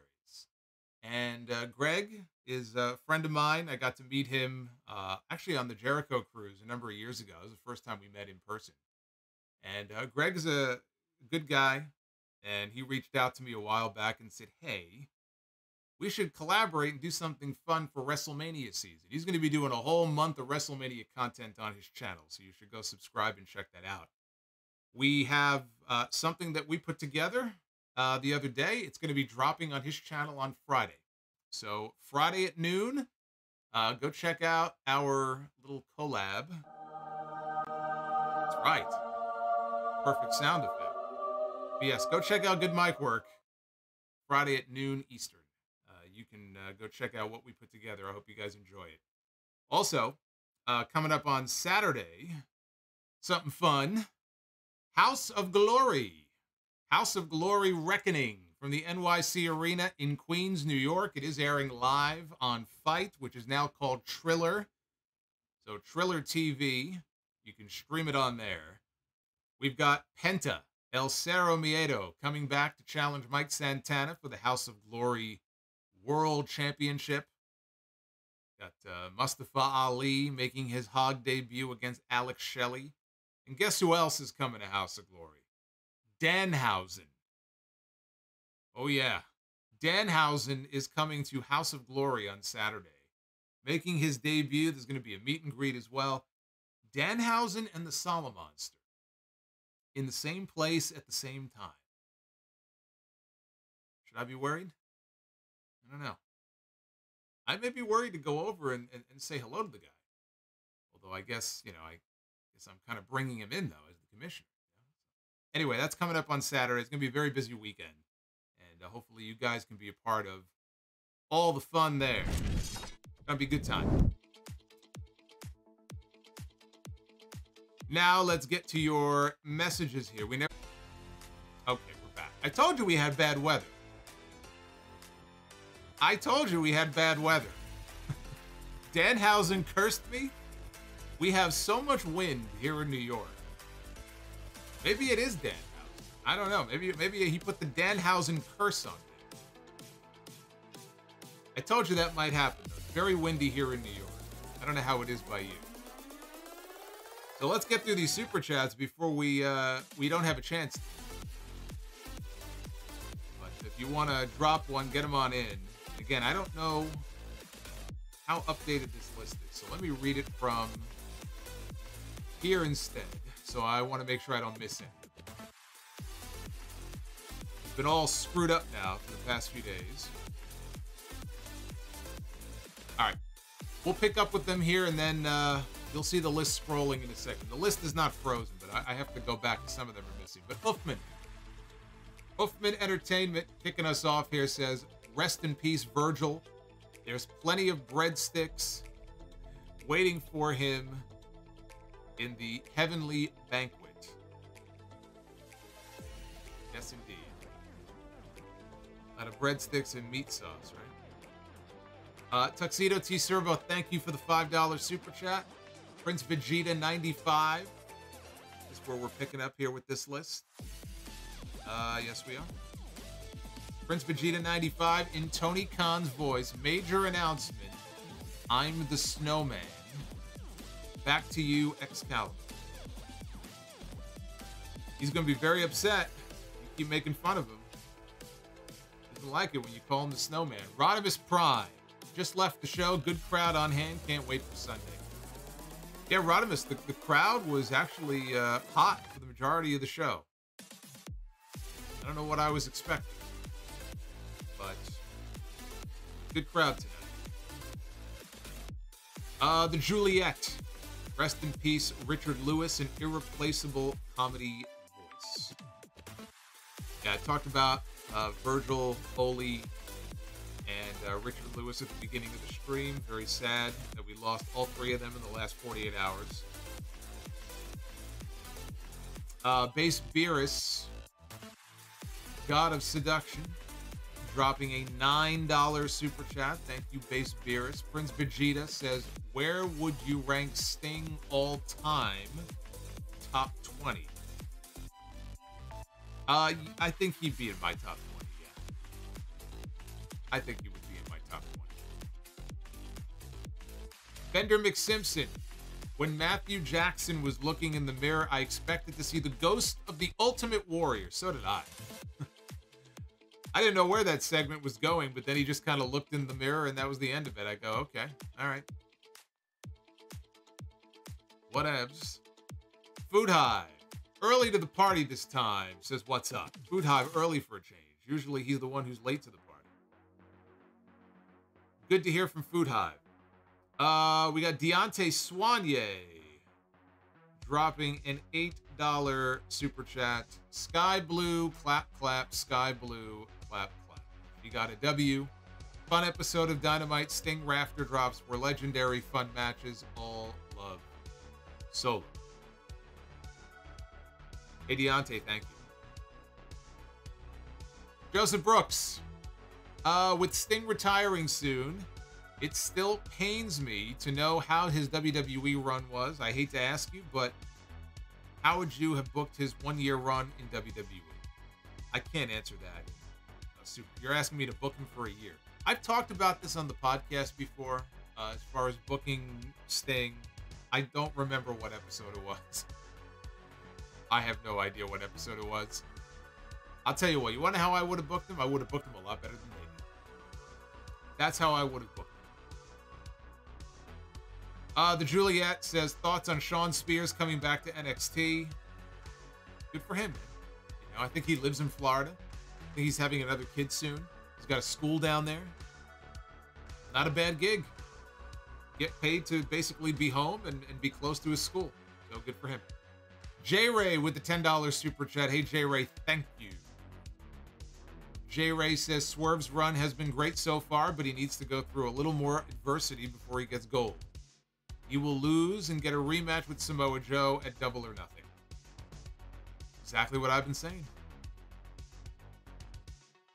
Jerome Eugenio, is Sting in your top 10? So now we've gone from the top 20 to the top 10. I don't I don't know that he's in my top 10, but he's definitely safely I think I would say he's in my top 20. Don't know if he makes my top 10. Base Beerus says, I'm here for the review. Good. Why else would you be? Good. Uh, Alex, thank you for the $10 super chat. He says, Brother Solo, what do you think is the biggest reason Sting was not part of the invasion storyline? Also, how do you think his career would have been like had he joined WWE instead of TNA in 2000?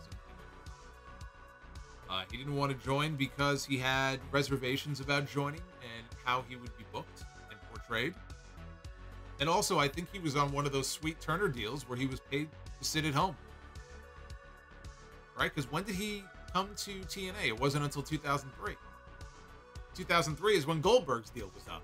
So that's probably when most of their deals ended up uh, being up. Well, not all of them, but like a lot of them were up around 03. So he was content to stay home and collect his guaranteed money.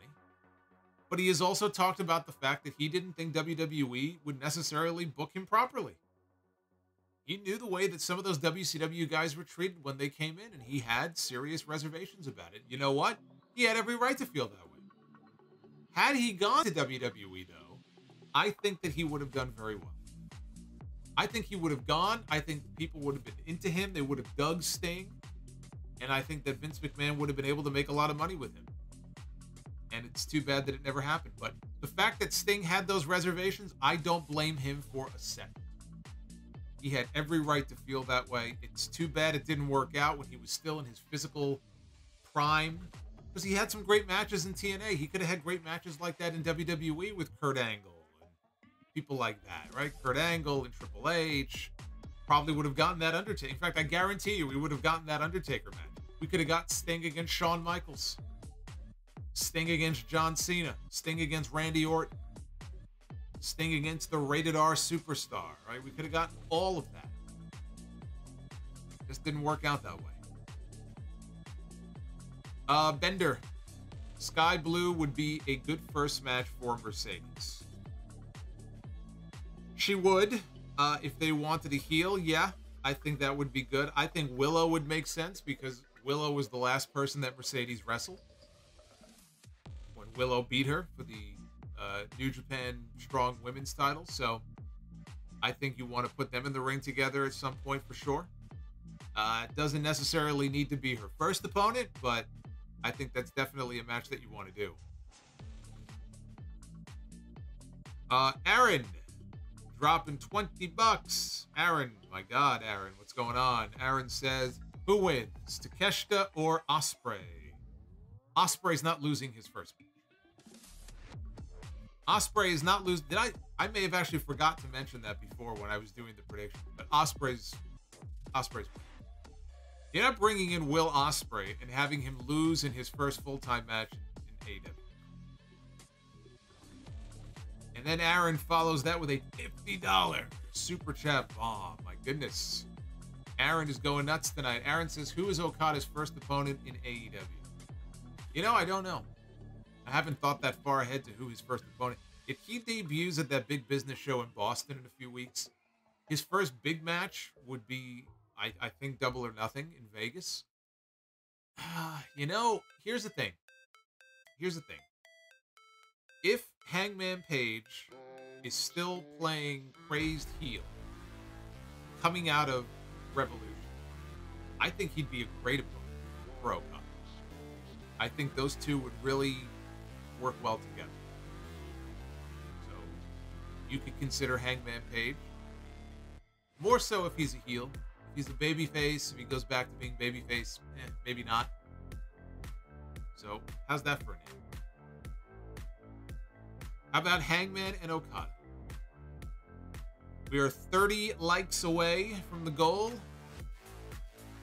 that like button. Otherwise, we may not be booking anything tonight. Brandon Proctor with the nine. So in kayfabe, is Sting up in the rafters all night, or did he rush up there once the Bucks started kicking the shit out of Darby? Oh, he's got those old bones. You think 64-year-old Sting is running? He's racing up to the catwalk. He was hanging out there all night. That's why they couldn't find him in the back. They were looking for him the entire show. The whole point is the reason they didn't find him is because he was up in the rafters. The one place they didn't think to look. Be calm, see clearly. What's your top three favorite black wrestlers? You want me to rank black wrestlers? I that's there's a whole bunch that I like. If I name The Rock, it's gonna start a fucking civil war in here. I'm not getting into that question.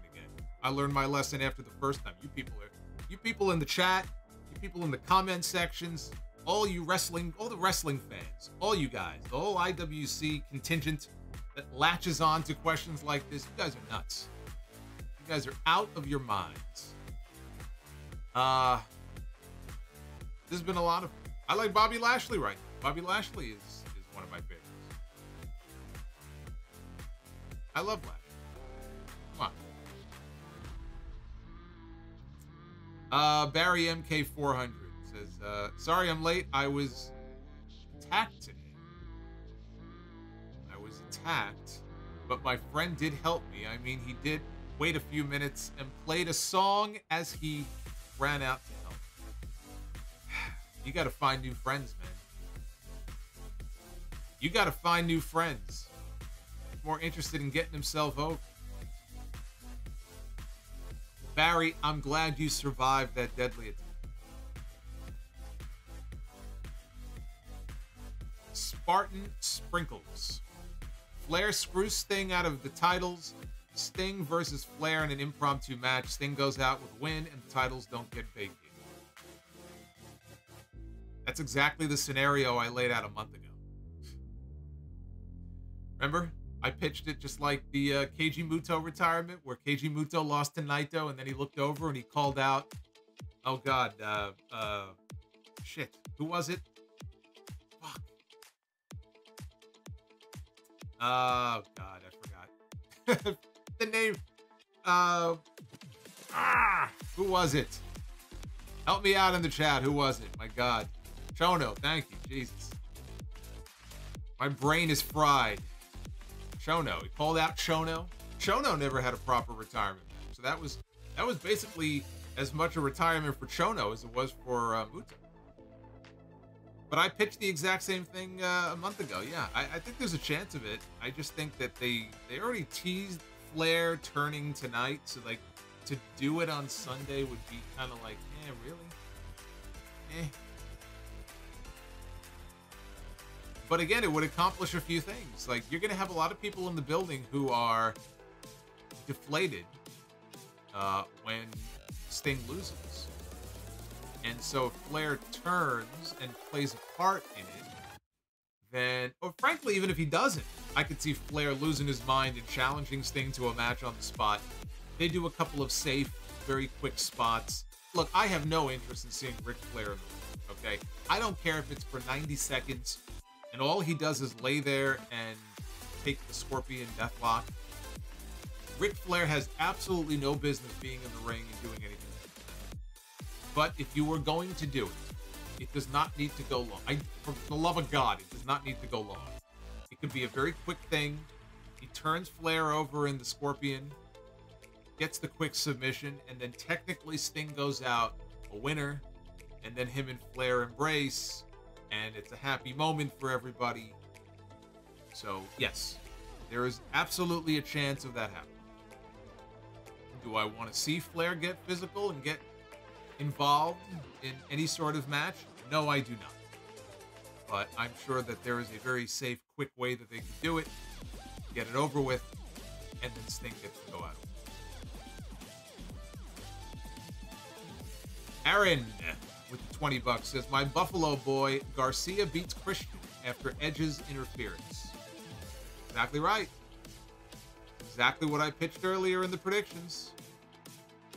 And you and I are uh, seeing things the same way.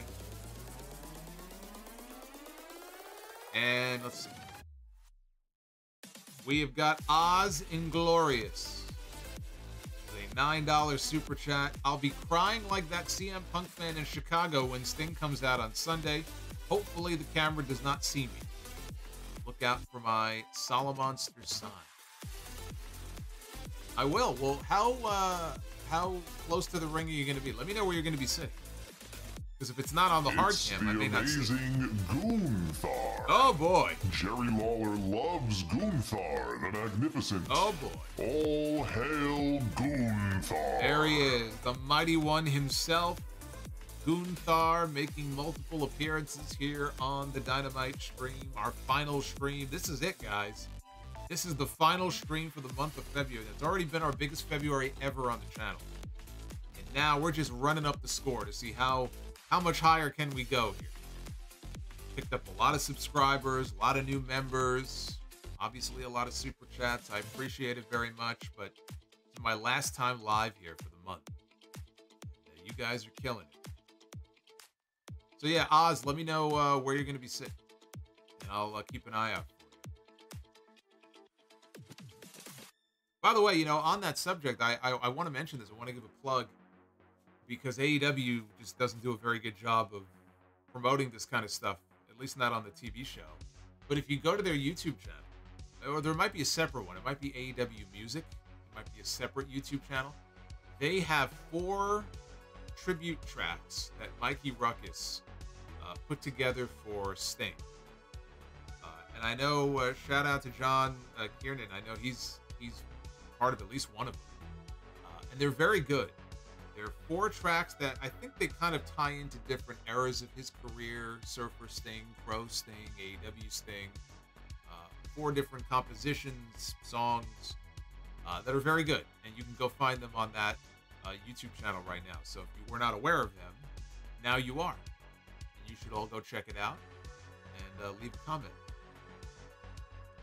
Aaron, my goodness, again, Ospreay for the world title at All In. You could do that. We had this conversation last week. Somebody asked me a question about this. I don't think you need to rush the title onto him uh, necessarily this year. I think Swerve should get his run first. If you put the title on Ospreay it all in, let's say Swerve wins the title in Vegas at Double or Nothing, are you really going to give Swerve three months you know, with, the title? That's not long enough. You know, I think he he's worked hard enough and earned the right to be champion for a little bit longer than that. So that's my only issue with it. I feel he should get the title first, and Ospreay will have his time. It does not have to happen at all in. I think you can give him a big match at all in, but it does not need to be for the title. So they've got him locked in, I'm sure, in a multi-year deal. He's not going anywhere, right? He's all theirs. Like he said tonight, he's all theirs. There's going to be plenty of time to belt him and get that title on him. It does not have to happen this year. Uh, Food Hive says, Did you see the return of Rick Grimes and how do you like the show so far? I personally love Rick Grimes and I'm excited for the series. What say you? I have not seen it and I am way behind on all of the spin offs, The Walking Dead. I, I feel like I'm one of the few who stuck with the original Walking Dead for all 11 seasons. And I have not watched more than one episode so far of any of the spin offs. I saw the first episode of the Daryl not Daryl of the uh, the Maggie and Negan one. I have not seen any of the episodes beyond that so so I am I'm way behind on everything. But I do plan on watching it. I miss Rick too, so I will check that out at some point. But I can't say anything more because I haven't watched it yet. Uh, the journey, this journey called life that we are all on. Yes, this journey called life with the dollar ninety nine. What will it take for AEW to get over this plateau? You know, sometimes you can't predict who or what will catch fire and when. All they can do is competently book their top talent, come up with stories that are interesting and compelling that people want to watch, push them all as hard as you possibly can. For all the people who are hurt right now, you've got Samoa Joe, you've got Hangman, you've got Okada probably coming in, you've got Will Ospreay, You've got a lot of great young talent in Hobbs and Ricky Starks and Takeshita, Garcia. There's a lot of great talent for you to work with. Come up with compelling stories, put together matches that people want to see. That honestly is the best thing that you can do. And just hope that it catches on and people are interested enough to want to tune into it. You know, Mercedes is obviously coming in very soon. she could be a difference maker in that women's division, but it all boils down to Tony Khan and what he does. You're only as good as the way you're booked. It's not like they go out there and have control over every little thing they do. There's a basic story, and, a, you know, you set up the program and the story, and you tell them this is what you're going to be doing. He's the boss, right? He's the boss. So what he says goes, and whatever ideas he comes up with are the ones they go with. And you know, they just signed this former WWE writer, uh, Jennifer Pepperman. She's coming in soon. Uh, she's going to be working with Mercedes, but she's going to be working with everybody. And so maybe she can bring some fresh ideas to the table. It's always good to get ideas and insights from people other than just one person.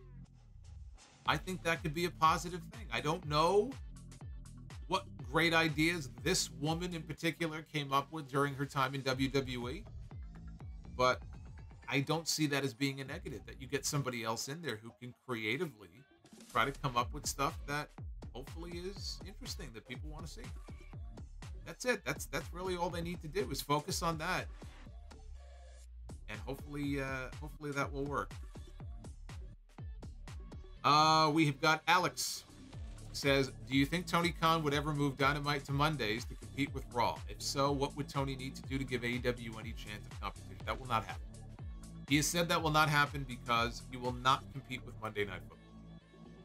They have obviously interest with the Jacksonville Jaguars. They're not going to compete against themselves. So that is not going to happen. And that should not happen. That would be suicide for AEW. That would be a very, very stupid idea.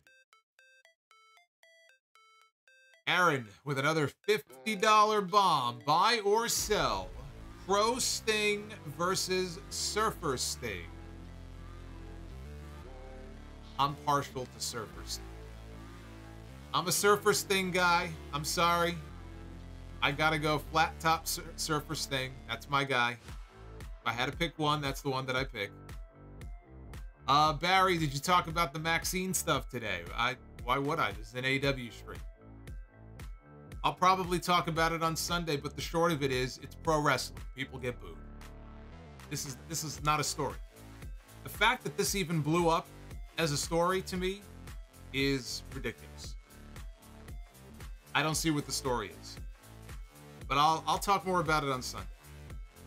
Much ado about nothing. Arabian Night 2000. Buy or sell on who was the bigger loss for Triple H and the WWE. The Undisputed Era guys or the collection of Swerve, Malachi Black, and Keith Lee. Uh, Swerve, Malachi Black, and Keith Lee. I think that there were a lot of things that could have been done with those three, and it was a huge missed opportunity. Losing the Undisputed Era guys was also a blow. Triple H, I know, loved those guys, especially Adam Cole. But losing Swerve, Malachi, and Keith Lee, I mean, there was money there. There was mo- there was real money to be made with those three, or even two of the three. If all three didn't all end up getting over, and the fact that they lost all of them, it's just such a waste. It's such a waste. And Oz and Glorious, we will be seven or eight rows up directly across from the camera. Cool. Well, then uh, make sure. Well, hopefully, I don't know what the policy is at the Greensboro Coliseum. A lot of these buildings have been taking people's signs away from them before they even get in.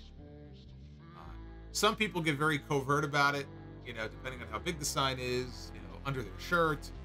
But then that, but then the sign is so small, you end up not seeing it.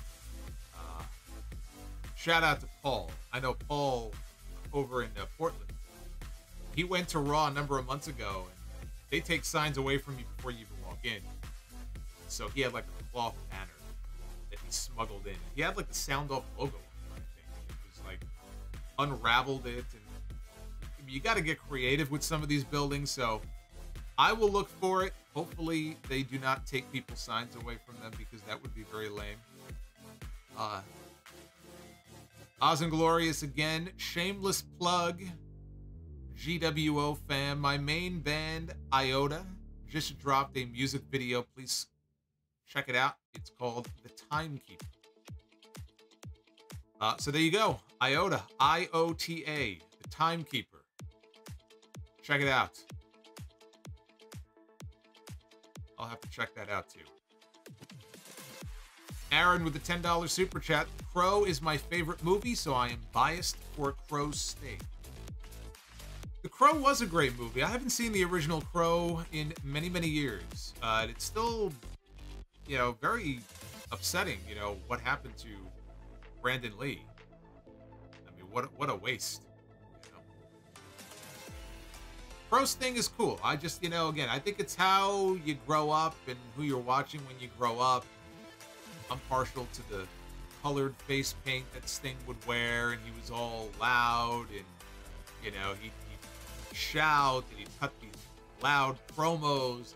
Crow Sting was the exact opposite. He didn't even speak. He said nothing. he said not a word. So it just depends on, you know, depends on the person what you like more. Oz says Maxxine will be just fine. She is hot as fuck. She is a very attractive woman. Uh, but again, it's wrestling. I mean, what what are we doing here? You know, people get booed. People say you suck. A lot of the wrestlers, a lot of the male wrestlers have heard far worse. It's not her fault that she has no business being in the ring on television. They have a fucking performance center. That is where she should be. They for- forced her on television. It's one thing for her to be on television Yeah, yeah, as a valet. yeah, Hey, Oz, thank It just popped up now. yeah. Uh, anyway, it's uh, it's one thing for her to be a valet, but you know, to put her in the ring like that when she obviously is not prepared is obviously, you know, it really is insulting to her. It's not doing her anything. It's throwing her into the fire when she's not ready to be on television. She's not ready for prime time. I mean, it's like having a chicken dinner in the oven. And you hope that one day, you know, when the chicken pops and it's ready, or well, I don't know if chicken pops, turkey pops, but when the chicken is ready, man, it's gonna be a great meal, right? Well, try taking that chicken out of the oven when it's only half cooked. See how that works out for you. Okay? You'll be shitting your brains out for the next four days, and it's not gonna taste too good. She's only half cooked. She's not even half cooked. She has no business being on television. So, yes, she's not good. She may get good one day. But if people want to go to the show and pay their money and boo, I mean, look, they're not chanting things at her that, you know, you wouldn't want a little kid to hear. It's not like they're chanting horrible things that people shouldn't be chanting. You know, we're talking about boos or at worst saying, hey, you suck. I mean, yeah, Bliss fan, that, that's kind of her gimmick, even with the Alpha Academy. She's in training, right? She's not that good. She's trying to improve and get better. I mean, seriously, if you're a wrestler and you can't handle being booed or having, you know, one or two fans say, hey, you suck, you're in the wrong business. You need to go find something else to do. I, I don't see how this blew up into a big story. I really don't. I saw her name trending on social media. I thought something happened. And I clicked it. I said, what, what am I missing? Like, this is why? This is why she's trending? I mean, this is what wrestling has become here in 2024. Like, what are we doing here? I don't get it. Uh, hey, uh, this journey called life. Wow, you can't hear it, but the wind outside, holy shit. holy shit. Uh, this journey called life says, I'm sorry, but Banks coming to AEW is eh. Uh, you and I are going to have to agree to disagree on that. Well, hopefully she'll prove a lot of people wrong then, if that's the case. She'll have to just come in and prove people wrong. And our retro KOH, it made no sense for it to happen, but I love Wolfpack Sting. A lot of people like Wolfpack Sting. It did not make any sense for it to happen. You're right. But there are a lot of people who like Wolfpack Sting. They thought the Wolfpack was cool. They had cool music. I always liked the Wolfpack's music. Thankfully, it died down. I thought I thought the I thought the window was gonna blow in. I don't know what's going on out there. Crazy. It was raining earlier today, and then the rain stopped. And uh, now it's just wind. Anyway, let me just double check here, make sure I did not miss any of them. I think they all came in. Yes, they did. Yes, they did. Uh, the like skull was 450, and guess what? We are at 471. So we did make it. We made it, boys, boys and girls. We made it. Thank you. Let's go ahead and be the booker. Ladies and gentlemen, it is now time to be the Booker. Yeah, no, uh, hur- hurricane season is not over, evidently. Well, let's get through this before uh, Mother Nature knocks me offline here. Then you'll all be very upset at me. We don't have a chance to do this. Let's book some matches. We uh, we had a clean sweep the other night, didn't we? Say no more. We begin with uh, pro- uh, brr, start over again. Uh, we begin here with Santana and Ortiz, proud and powerful. I got tongue tied. I was going to say pride and pride and glory. Uh, proud and powerful. Santana and Ortiz. Santana, the reigning House of Glory world champion, and a fine champion he is. Proud and powerful. Stepping into the ring with Johnny Gargano and Tommaso Ciampa DIY. Why could we not have seen that match? Now we're never going to get it. The only place you're ever going to get that match is right here in Be the Booker. What a great match that would have been. Too bad. Move on. Ladies, Be the Booker. Hit the button here. AJ Lee. We begin with AJ Lee, the former Divas champion. I know people were hoping for a cameo in the Women's Royal Rumble. We did not get it, but there's always next year. She couldn't be back now anyway. She has to be at home to help Phil. She has to help Phil recover. All right, AJ Lee. Who would you like to see AJ Lee step in the ring with? What modern talent should we pick as AJ's opponent? AJ Lee one on one with Sonya Deville. Sonya Deville still out recovering from a torn ACL. I feel like 85% of the women in WWE are currently out with a torn ACL. She should be closing in soon, though, on her comeback soon enough. And uh, I think that would have been a good match. I think AJ and Sonya would have been good. All right, one left to go. Here we go. I'm ready to hit the button. I'm ready. I'm ready. Here we go. We begin with the lethal weapon, Steve Blackman. Steve Blackman, who now, believe it or not, and I think he's been doing this for a number of years. Steve Blackman, where has he been? He is a bail bondsman. He is a bail bondsman, yeah. Or a bounty hunter.